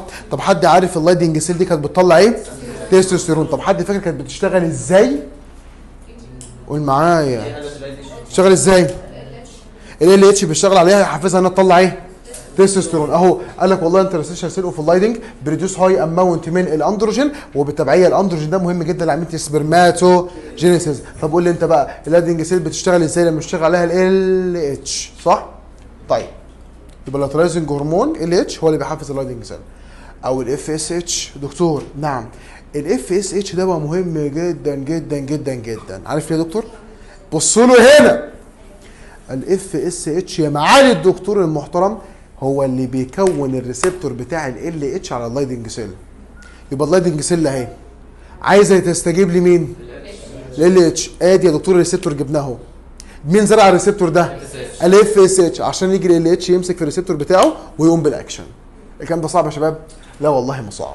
يبقى ال FSH follicular stimulating hormone ده بيحفز ال Leydig cell إنها تستجيب لل LH اللي هو بيزود ال LH إيه؟ بيزود ال LH receptor وبالتبعية بي promote ال production of ال androgen binding protein بيعمل إيه؟ promote ال إيه؟ ال production of androgen binding protein اللي هو ال ABP كان بيعمل إيه يا دكتور؟ androgen binding protein عشان يفضل شايل الأندروجين في ال tubular fluid لأن الأندروجين ده عبارة عن استرويد دهون ولا يختلط الزيت بالماء فلازم يكون عندي carrier يا جو. طب ماشي إيه كمان يا دكتور؟ قال لك والله بيشتغل على ال Sertoli cell يحفز شغلها يا معالي الدكتور المحترم عشان تعمل إيه؟ facilitate ال last stage of ال spermatid maturation ال FSH بيروح يحفز ال Sertoli cell كي تمد ال spermatid عامة بالمزيد من الغذاء والأوامر والهرمونات عشان يحول تحفيز ال spermatid إلى spermatozoa ويحصل له maturation صعب الكلام ده؟ يبقى قلنا أول حاجة ال LH ثم ال FSH طب تالت حاجة بتأثر يا دكتور على ال spermatogenesis هقول لسيادتك الأندروجين. مين يا ابني؟ الأندروجين. عن طريق ان هو بيشتغل على ال Sertoli cell. طب ما هو دور الأندروجين على ال Sertoli cell يا معالي الدكتور؟ هقول لك ده بيحافظ على ال germinal epithelium يكون سليم مش بس كده. وبيكون ال إيه complete ال meiosis يساعد على انقسام الميوزي. وبيعمل spermiogenesis اللي هو تحويل ال spermatid إلى spermatozoa صعب الكلام ده؟ طيب دكتور نعم. التستوستيرون ده لازم يكون ب high concentration يا معالي الدكتور locally على ال tubular fluid طب ليه؟ تو مينتين الايه الجيميتوجينيك فانكشن عشان الخلايا تفضل تنقسم الانقسامات اللي انت متعود عليها. وعلشان يا معالي الدكتور المحترم يحصل spermatogenesis والانقسامات تتم بشكل سليم لازم ولا بد يا معالي الدكتور ان إيه اللي يحصل؟ قول معايا كده. ها؟ إيه إيه؟ التستوستيرون يفضل عليه طول الوقت. طب أنا بطمن إزاي ان هو عليه طول الوقت. ثاني بضمن إزاي ان التستوستيرون عليه طول الوقت. androgen binding globulin موجود في ال tubular fluid طب ماشي دكتور نعم. التستوستيرون ده مين بيصنعه؟ ال Leydig cell. فبيطلع بكميات كبيرة من ال Leydig cell. طب مين بيحفز ال Leydig cell؟ مين يا ابني؟ LH طب مين بيسرع LH receptor ال FSH دكتور إيه كمان؟ secretion of ال androgen binding globulin عن طريق ال Sertoli cell. وده مهم إن هو يمسك في مين؟ في التستوستيرون أو الاسترويد عشان يحافظ على ال high concentration بتاعه وال high concentration of ال testosterone ده كان مهم جدا لاستكمال عملية ال spermatogenesis طب يا دكتور counter current exchanger كنت بقول لك في يا دكتور. ها؟ ال artery داخل قال لك والله counter مع ال tortuous vein اللي خارجه اللي هي pampiniform plexus of ال vein دكتور التستوستيرون بقى في ال venous blood بيرجع تاني لل arterial blood. الدم هو داخل ال venous هو خارج أهو ال venous هو ال venous blood وهو خارج أهو شايل معاه تستوستيرون. يقوم رايح في ال arterial blood ونازل مرة أخرى يشتغل على ال testis تاني صعب كام ده يا ابني؟ يبقى دي حاجة تسمى counter current exchange وذلك ربنا خلى ال vein وال artery قريبين جدا من بعض عاملين counter current exchange system. inhibin يا معالي الدكتور inhibin ده كان بيعمل إيه؟ ب inhibit FSH طب ال activin؟ ب stimulate FSH طب ما هو دور FSH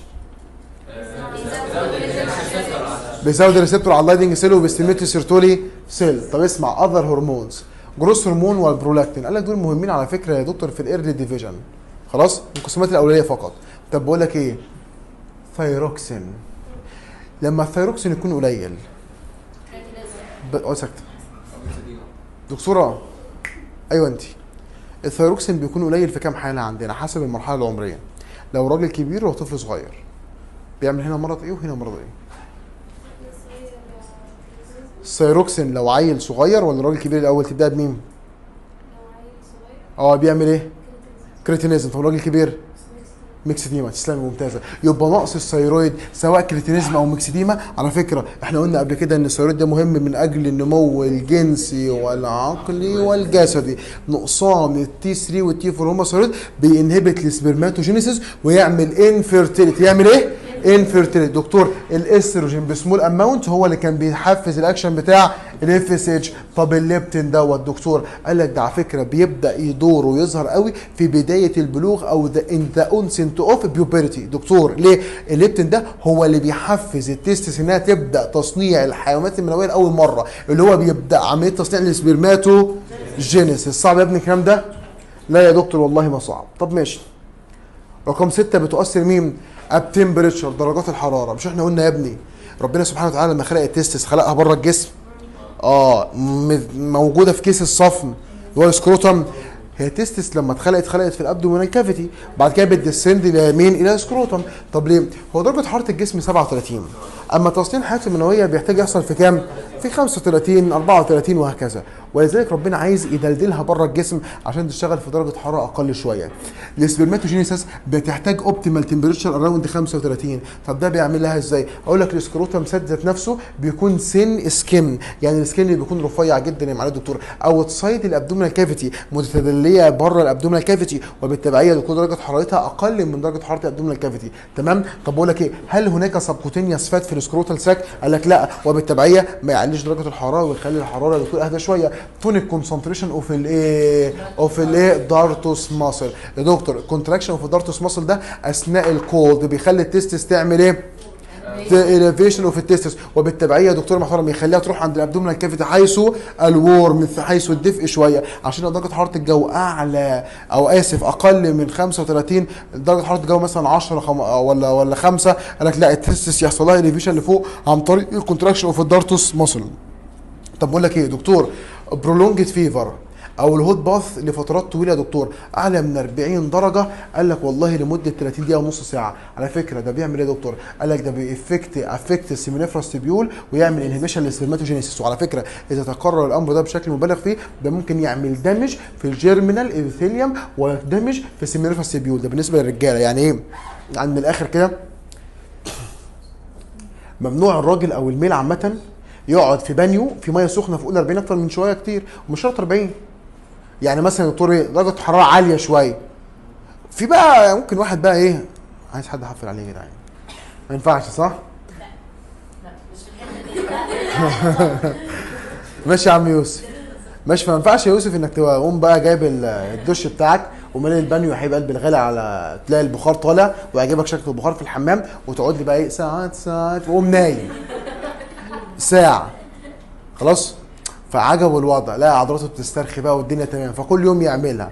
في الآخر يا معالي الدكتور يحصل له ده مش فاهم في الجيرمال ايبيثيليوم ويحصل له انهبيشن في السبرماتوجينيسيس تمام؟ طيب إيه كمان ممكن يأثر؟ على فكرة ال temperature بتأثر على ال sperm count دكتور على فكرة وجدنا إن ال sperm count بتزيد في ال winter regardless of the temperature اللي هو seasonal effect عامة. صعب الكلام ده يا ابني؟ ده مش صعب.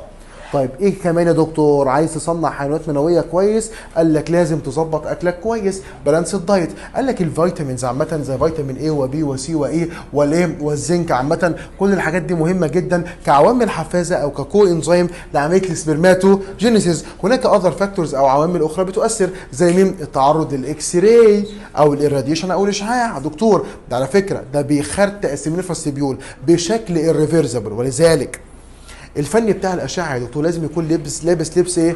واقي بيحميه طبعا الكلام ده مش موجود عندنا. تروح تعمل عمرك رحت عملت اشعه في أي مركز لقيت الفني اللي ده. إيه؟ لا عايزين عايزين مركز wow. هيجي واحد يقول لي يا لهوي ده أنا عملت اشعه رجلي من سنة. أنا كده أنا كده خلاص رحت في داهية. يا ابني مرة عادي. أنا بتكلم واحد بيتعرض ليها كل يوم زي الفني اللي موجود معاك. فاهم قصدي؟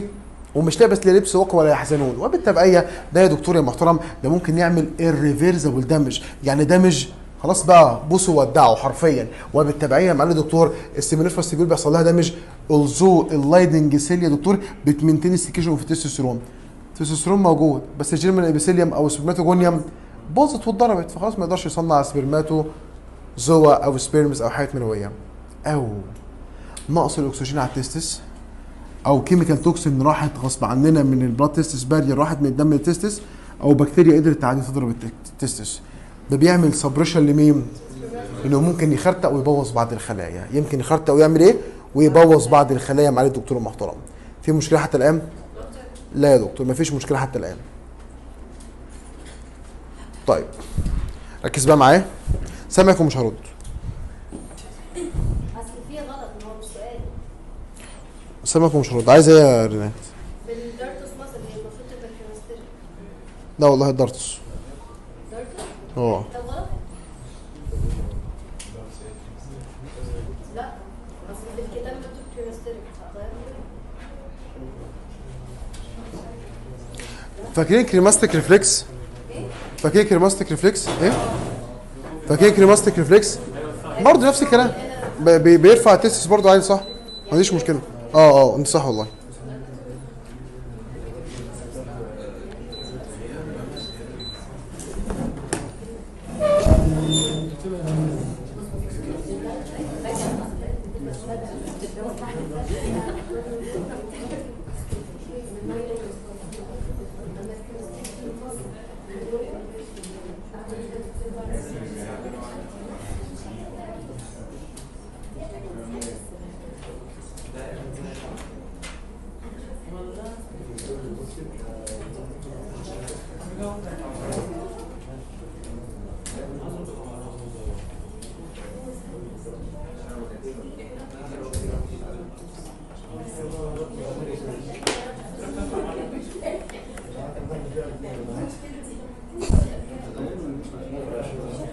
مش تابع الموبايل كويس هيكفي؟ لحد البريك مفيش بريك البريك لا كام كام يعني هتقول لي كام؟ آه قصدك المحاضرة كم 46 دقيقة الا أكثر الا أكثر البتاع ما أقدر أشوف لكن يعني فضل نص ساعة تقريبا لحد ما يكفي. 10 بالمية باقي 10 موبايل شحن كام في المية؟ مش باين الا أكثر التسجيل وأشوف. هو ما بيظهرش كده يعني؟ أنا قاعد لا. ماشي.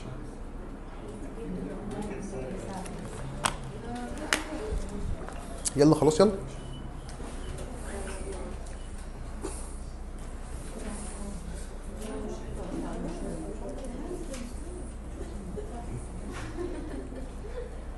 ركز معايا.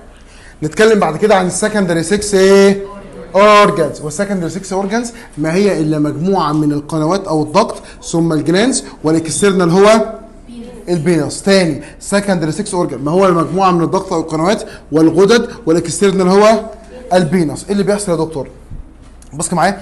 آدي ال testis هي ال primary sex organ صح؟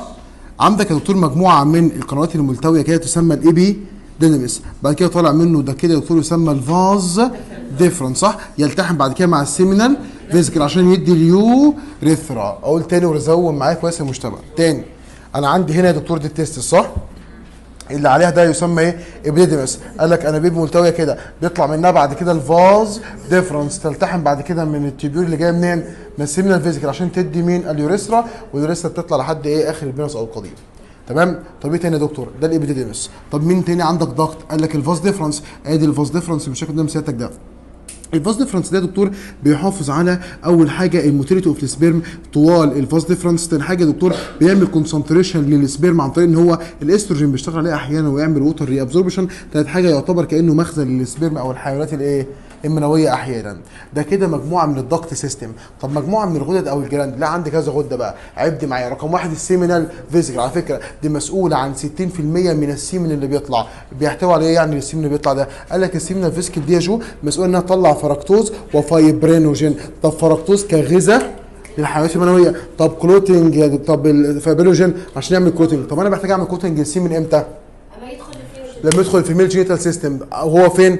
في ال vagina عشان ما يسربش outside إيه؟ ال vagina أو يطلع بره الجسم. تمام. طب يا دكتور ده بالنسبة لل seminal vesicle عامة. طب تاني حاجة موجودة عندنا البروستات. البروستات دي مسؤولة عن 30% صح مش صح؟ يا دكتور ماله يعني بيعمل إيه؟ قال لك والله ده بتطلع alkaline fluid يحتوي على proteolytic و fibrinolysin عشان الجلطة اللي كونتها بعد شوية اقوم مكسرها وعامل انطلاق لجيش التتار أو الحيوانات المنوية لحد ما تمشي في ال female genital system زي ما أنت عارف. صعب يا ابني الكلام ده؟ الكلام ده فيه مشكلة؟ طب ماشي. دكتور نعم. ال external organ يسمى إيه؟ ال penis أو القضيب يسمى إيه؟ ال penis أو القضيب. بص كده معايا. لما أجي أبص وأخد cross section في ال penis أو القضيب يا دكتور هلاقيه بيحتوي على مجموعة من الكهوف ال corpus cavernosum صح مش صح؟ أدي مجموعة من الكهوف أهي. كيف يحدث ال erection في ال penis أو القضيب؟ هقول لك إن ال corpus cavernosum دول أو الكهوف بتتملي ويز بيحصل لها احتقان أو con أو congestion with الايه with ال blood يا دكتور. طب تمام.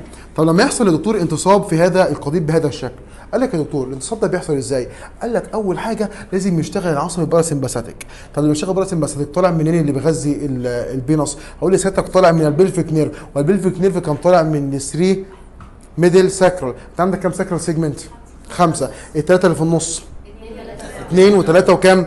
واربعة أو اثنين وثلاثه واربعة بيطلع ال pelvic nerve ده parasympathetic بيغذي ال penis على فكرة بيغذي ال penis بيعمل إيه بقى؟ أقول لسيادتك يا دكتور يا محترم بيطلع nitric oxide صح؟ استنى بس. وبيزود ال cyclic GMP فبيزود ال vasodilatation في ال artery. وبيعمل vasoconstriction في ال vein.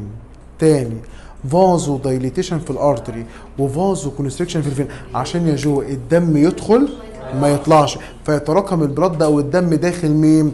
داخل ال penis. فيؤدي إلى حدوث ال erection أو الانتصاب. طب اسمع. طب يا دكتور بعد الانتصاب والجماع عامة بتنتهي العلاقة بحاجة تسمى ejaculation طب مين مسؤول عن ejaculation هو ال sympathetic طب ال sympathetic كان بيعمل contraction أو انقباض في ال seminal vesicle وفي البروستات. وبالتبعية يا دكتور يؤدي إلى خروج ال semen أو السائل المنوي الذي يحتوي على ال sperm أو الحيوانات المنوية. بص كده معايا لو سمحت.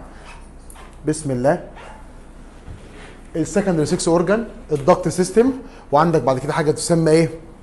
ال gland duct system epididymis وايه و vas deferens epididymis دوت قال لك ده مسؤول عن إيه؟ قال لك والله يا دكتور بي sweep into ال epididymis by pressure created by continuous secretion of tubular fluid يا دكتور إيه اللي بيحصل؟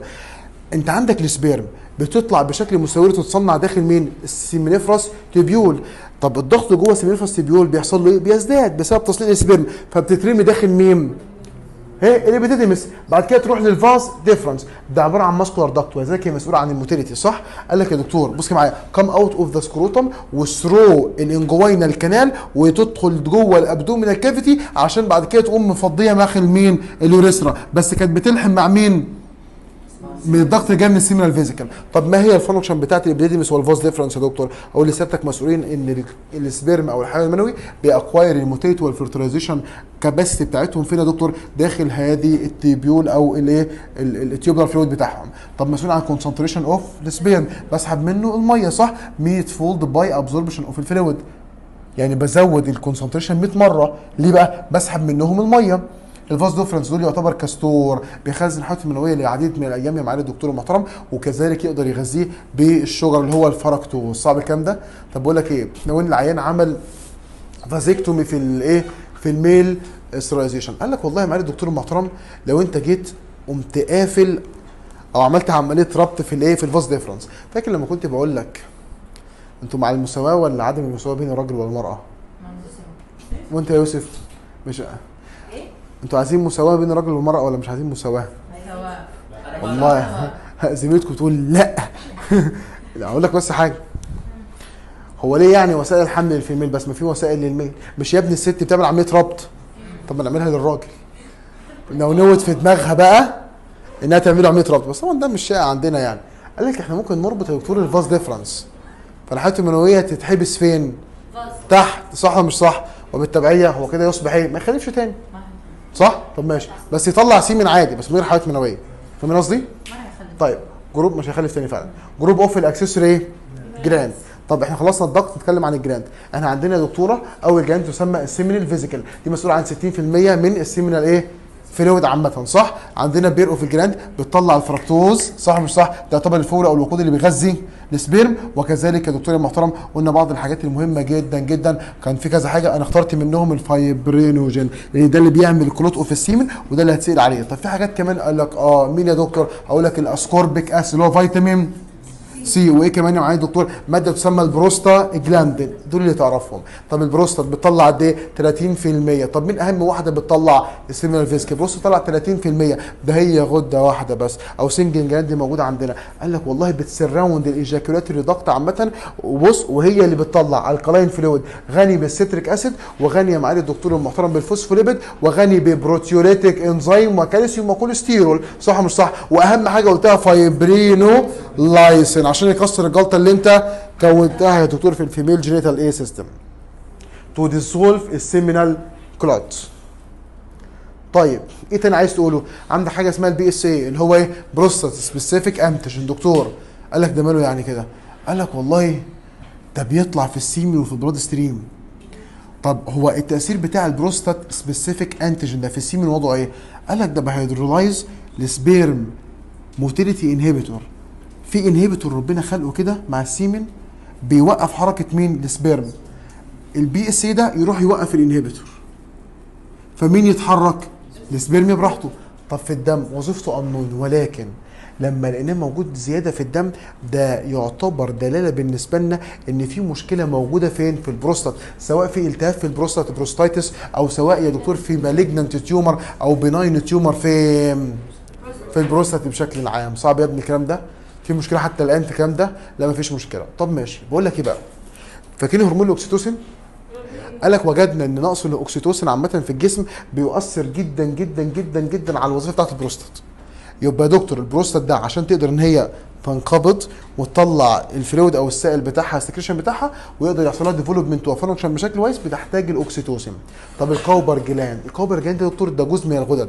بتطلع يا دكتور بعض ال fluid داخل ال urethra فبتطلع حاجة اسمها mucus ما قبل ال ejaculation أو القصف يا معالي الدكتور. طب ال mucus ده وظيفته إيه؟ إن هو بيمشي في ال urethra. ده قبل ال ejaculation ما حصلش قذف ما حصلش ejaculation طب بيعمل إيه ال mucus دوت؟ قال لك والله هو البول أو ال urine ده بيكون إيه؟ acidic صح؟ فانا فأنا بطلع ال mucus ده أول حاجة ب neutralize ال acidity بتاعت مين؟ اليوس- قبل ال ejaculation ولو فيها دكتور محترم بي- بيطهر مثلا مجرى البول عشان يعدي في مين؟ الايه؟ ال semen أو السائل المنوي. طب بعد كده اتكلمنا كلمتين سريعا على ال penis أو القضيب قلنا ده copulatory organ اللي هو بيقدر إن هو عضو انتصابي. ده بي deliver ال semen داخل ال female genital tract ويتكون مجموعة من الكهوف يا معالي الدكتور المحترم. طب بص كده معايا يا ابني. mechanism of erection إزاي بيحصل erection يا دكتور؟ ال penis ده بيحتوي على erectile tissue اللي هم ال corpus cavernosa صح ولا مش صح؟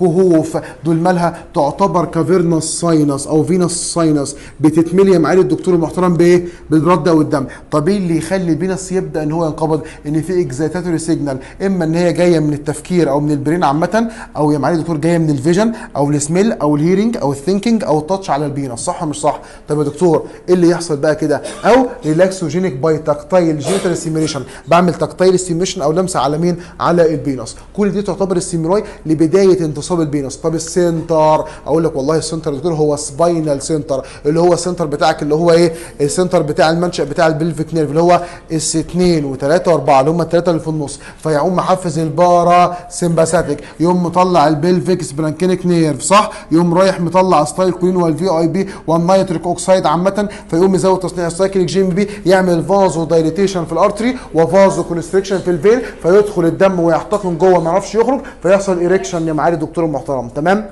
قال لك عندك دواء يسمى السيلدانافيل أو الفياجرا. فاكرين السيلدانافيل أو الفياجرا ده دكتور كان بيشتغل إزاي؟ تعالى وأنا أفهمك بقى. دكتور بص ده phosphodiesterase inhibitor ده إيه؟ phosphodiesterase inhibitor دكتور المحترم نعم. بقول لك إيه؟ نعم. ال phosphodiesterase inhibitor دوت يا معالي الدكتور المحترم. بص معايا. المفروض إن هو بيكسر ال cyclic GMP فخلاص ما يحصلش إيه؟ erection صح؟ ماشي. ده كان دواء إحنا واخدينه للضغط. كان دواء إحنا اخترعناه لمين؟ لمرضى الضغط. جينا وزعنا على مرضى الضغط الدواء. خد يا حاج الدواء. بعد كده وجدنا إن الدواء ده له العديد من الأعراض الجانبية. فقلنا لا خلاص إحنا هنسحب من العينين الدواء تاني. هات يا حاج الدواء. قال لك أقسم بالله ما أنت واخده. يا حاج هات الدواء. والله يهديك. والله يا دكتور لو مش هتاخدوه طب تعالى قول لنا يا حاج ده عاجبك في إيه؟ قال لك ده حل لي العقد بالنسبة للرجاله الكبار في السن، ده بيعمل إيه يا دكتور يعني؟ أقول لي سيادتك بيمنع تكسير ال cyclic GMP. فيفضل يعمل vasodilatation specific على ال penis. فيزود الدم اللي داخل جوه ال penis. فيحسن من مشاكل الانتصاب ويعمل erection بشكل كويس جدا. وبالتبعية ده إحنا قلنا ده ممكن يعتبر treatment of ال impotence بشكل عام يعني. تمام؟ بي inhibit ال phosphodiesterase أيضا في ال retina وبالتبعية بيعمل transient loss of ال ability of discrimination between ال blue وال green يعني إيه؟ يعني يا دكتور بعض الناس لما ياخد الفياجرا أو السيلدانافيل يقول لك يا دكتور أنا ما بعرفش أفرق ما بين الألوان وأحس بزغللة شوية في عينيا. ده من ضمن الأعراض الجانبية بتاعته. خلاص؟ طب ال response بتاعه بيعمل vasodilatation في ال artery صح؟ ويزود ال blood flow فيحتقن ال sinus عامة أو الكهوف بالدم ولكن ال vein are compressed وبالتبعية بمنع ال blood إن هو يطلع منها صح؟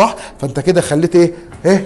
turgid sinuses and stiff penis ال sinus بقت مليانة بال blood وال penis بقى stiff وبقى erect يا دكتور. طب ال erection دوت قال لك يا دكتور بينتهي ال erection بسبب شغل ال sympathetic ال sympathetic هو الذي يؤدي إلى ال ejaculation ال sympathetic بيعمل vasoconstriction impulses وبالتبعية يا دكتور ينهي الانتصاب بعمليه ال ejaculation أو القذف بشكل عام. في مشكلة حتى الآن يا ابني؟ لا مفيش مشكلة. طب كيف يحدث ال ejaculation؟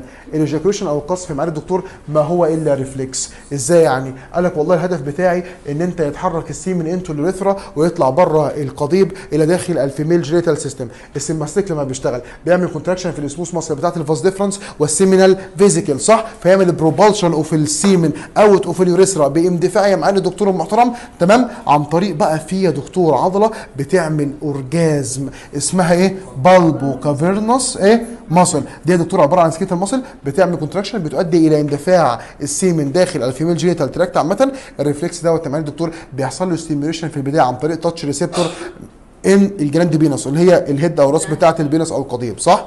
طب اسمع بتوصل الإشارة بتاعة ال- ال- ال- ال- ال touch دي يا دكتور أو أثناء الجماع عامة إلى ال spinal cord عن طريق pudendal nerve تمام؟ يقوم هو بعد كده باعت عصب efferent sympathetic بيؤدي إلى إيه؟ ejaculation أو قصف عامة في نهاية الجماع أو العلاقة الجنسية عامة ما بين الراجل والست. طب اسمع ال contraction اللي بيعمله ال sympathetic في ال vas deferens قالك ده بيؤدي لايه بيؤدي دكتور إلى خروج بعض مين؟ المواد. طب إيه اللي بيحصل يعني؟ أقول لسيادتك سيبك من الكلام الغريب ده. ligand gated cation channel بتفتح بسبب زيادة مين؟ ال ATP تمام؟ طب يا دكتور طب ليه يعني بتفتح؟ قال لك والله عشان تدخل بعض المواد الانقباضية زي الكالسيوم على سبيل المثال. فتعمل انقباض أو contraction في ال seminal vesicle وفي ال vas deferens مما يؤدي إلى ejaculation of ال semen من ال penis إلى ال female genital tract. طب كلمني كلمتين كده يا دكتور على السائل المنوي أو ال semen. ال semen قال لك ده عبارة عن milky fluid ejaculation time of ال orgasm بالنسبة للراجل اللي هو ذروة الشهوة الجنسية يا معالي الدكتور المحترم طب بيحتوي على إيه؟ على spermatozoa يحتوي على إيه؟ هي الحيوانات المنوية. وكذلك بعض ال secretions يا دكتور اللي جاي من ال seminal vesicle وال prostate و Cowper gland طب اسمع حجم ال semen قد إيه؟ من 2 ل 4 مللي يا معالي الدكتور بيحتوي على فركتوز صح ولا مش صح؟ يحتوي على إيه على فركتوز صح؟ volume and fructose content بال decrease ال fertility يعني إيه الكلام ده يا دكتور؟ قال لك والله الحجم بتاعه لو قل أو الفركتوز قل قال لك يبقى هو كده ما يعرفش يخصب كويس. طيب ليه؟ لأن مصدر الطاقة بتاعه قل أو الحجم بتاعه قليل مش طبيعي. طب ال color بتاعه white and إيه؟ opalescent اللي هو يعني كلمة opalescent دي؟ آه لا مش شفاف م... آه. آه تربق هي الكلمة انت قلتها دي. المهم ال specific gravity بتاعه 1028 ماليش دعوة بيها. بقول لك إيه لو زادت ال viscosity بتاعته بتاع ال semen ده حاجة حلوة ولا وحشة؟ حاجة وحشة لأنها كده بتقلل ال motility بتاعت ال sperm فتقلل ال fertility. طب البي اتش بتاعته 7 و3 7 وخمسة. يعني تقريبا زي بتاعت مين؟ زي بتاعت الجسم. طب عدد الحيوانات المنوية كل ملي أنت عندك بيطلع كام ملي من ال semen؟ 4 ملي 4 ملي صح؟ كل ملي من 4 يحتوي على 100 مليون sperm. نعم. كل ملي من 4 ملي يحتوي على 100 مليون sperm. يعني 400 مليون 400 مليون sperm في المرة الواحدة. استنى بس 400 مليون؟ sperm عشان أجيب منهم حيوان منوي واحد بس. أنت متخيل معايا؟ عشان أجيب منهم قد إيه؟ يعني شوف تخيل بقى تخيل. أنت ربنا بيخلي جسمك يختار أفضل حيوان منوي من 400 مليون حيوان منوي. ماشي.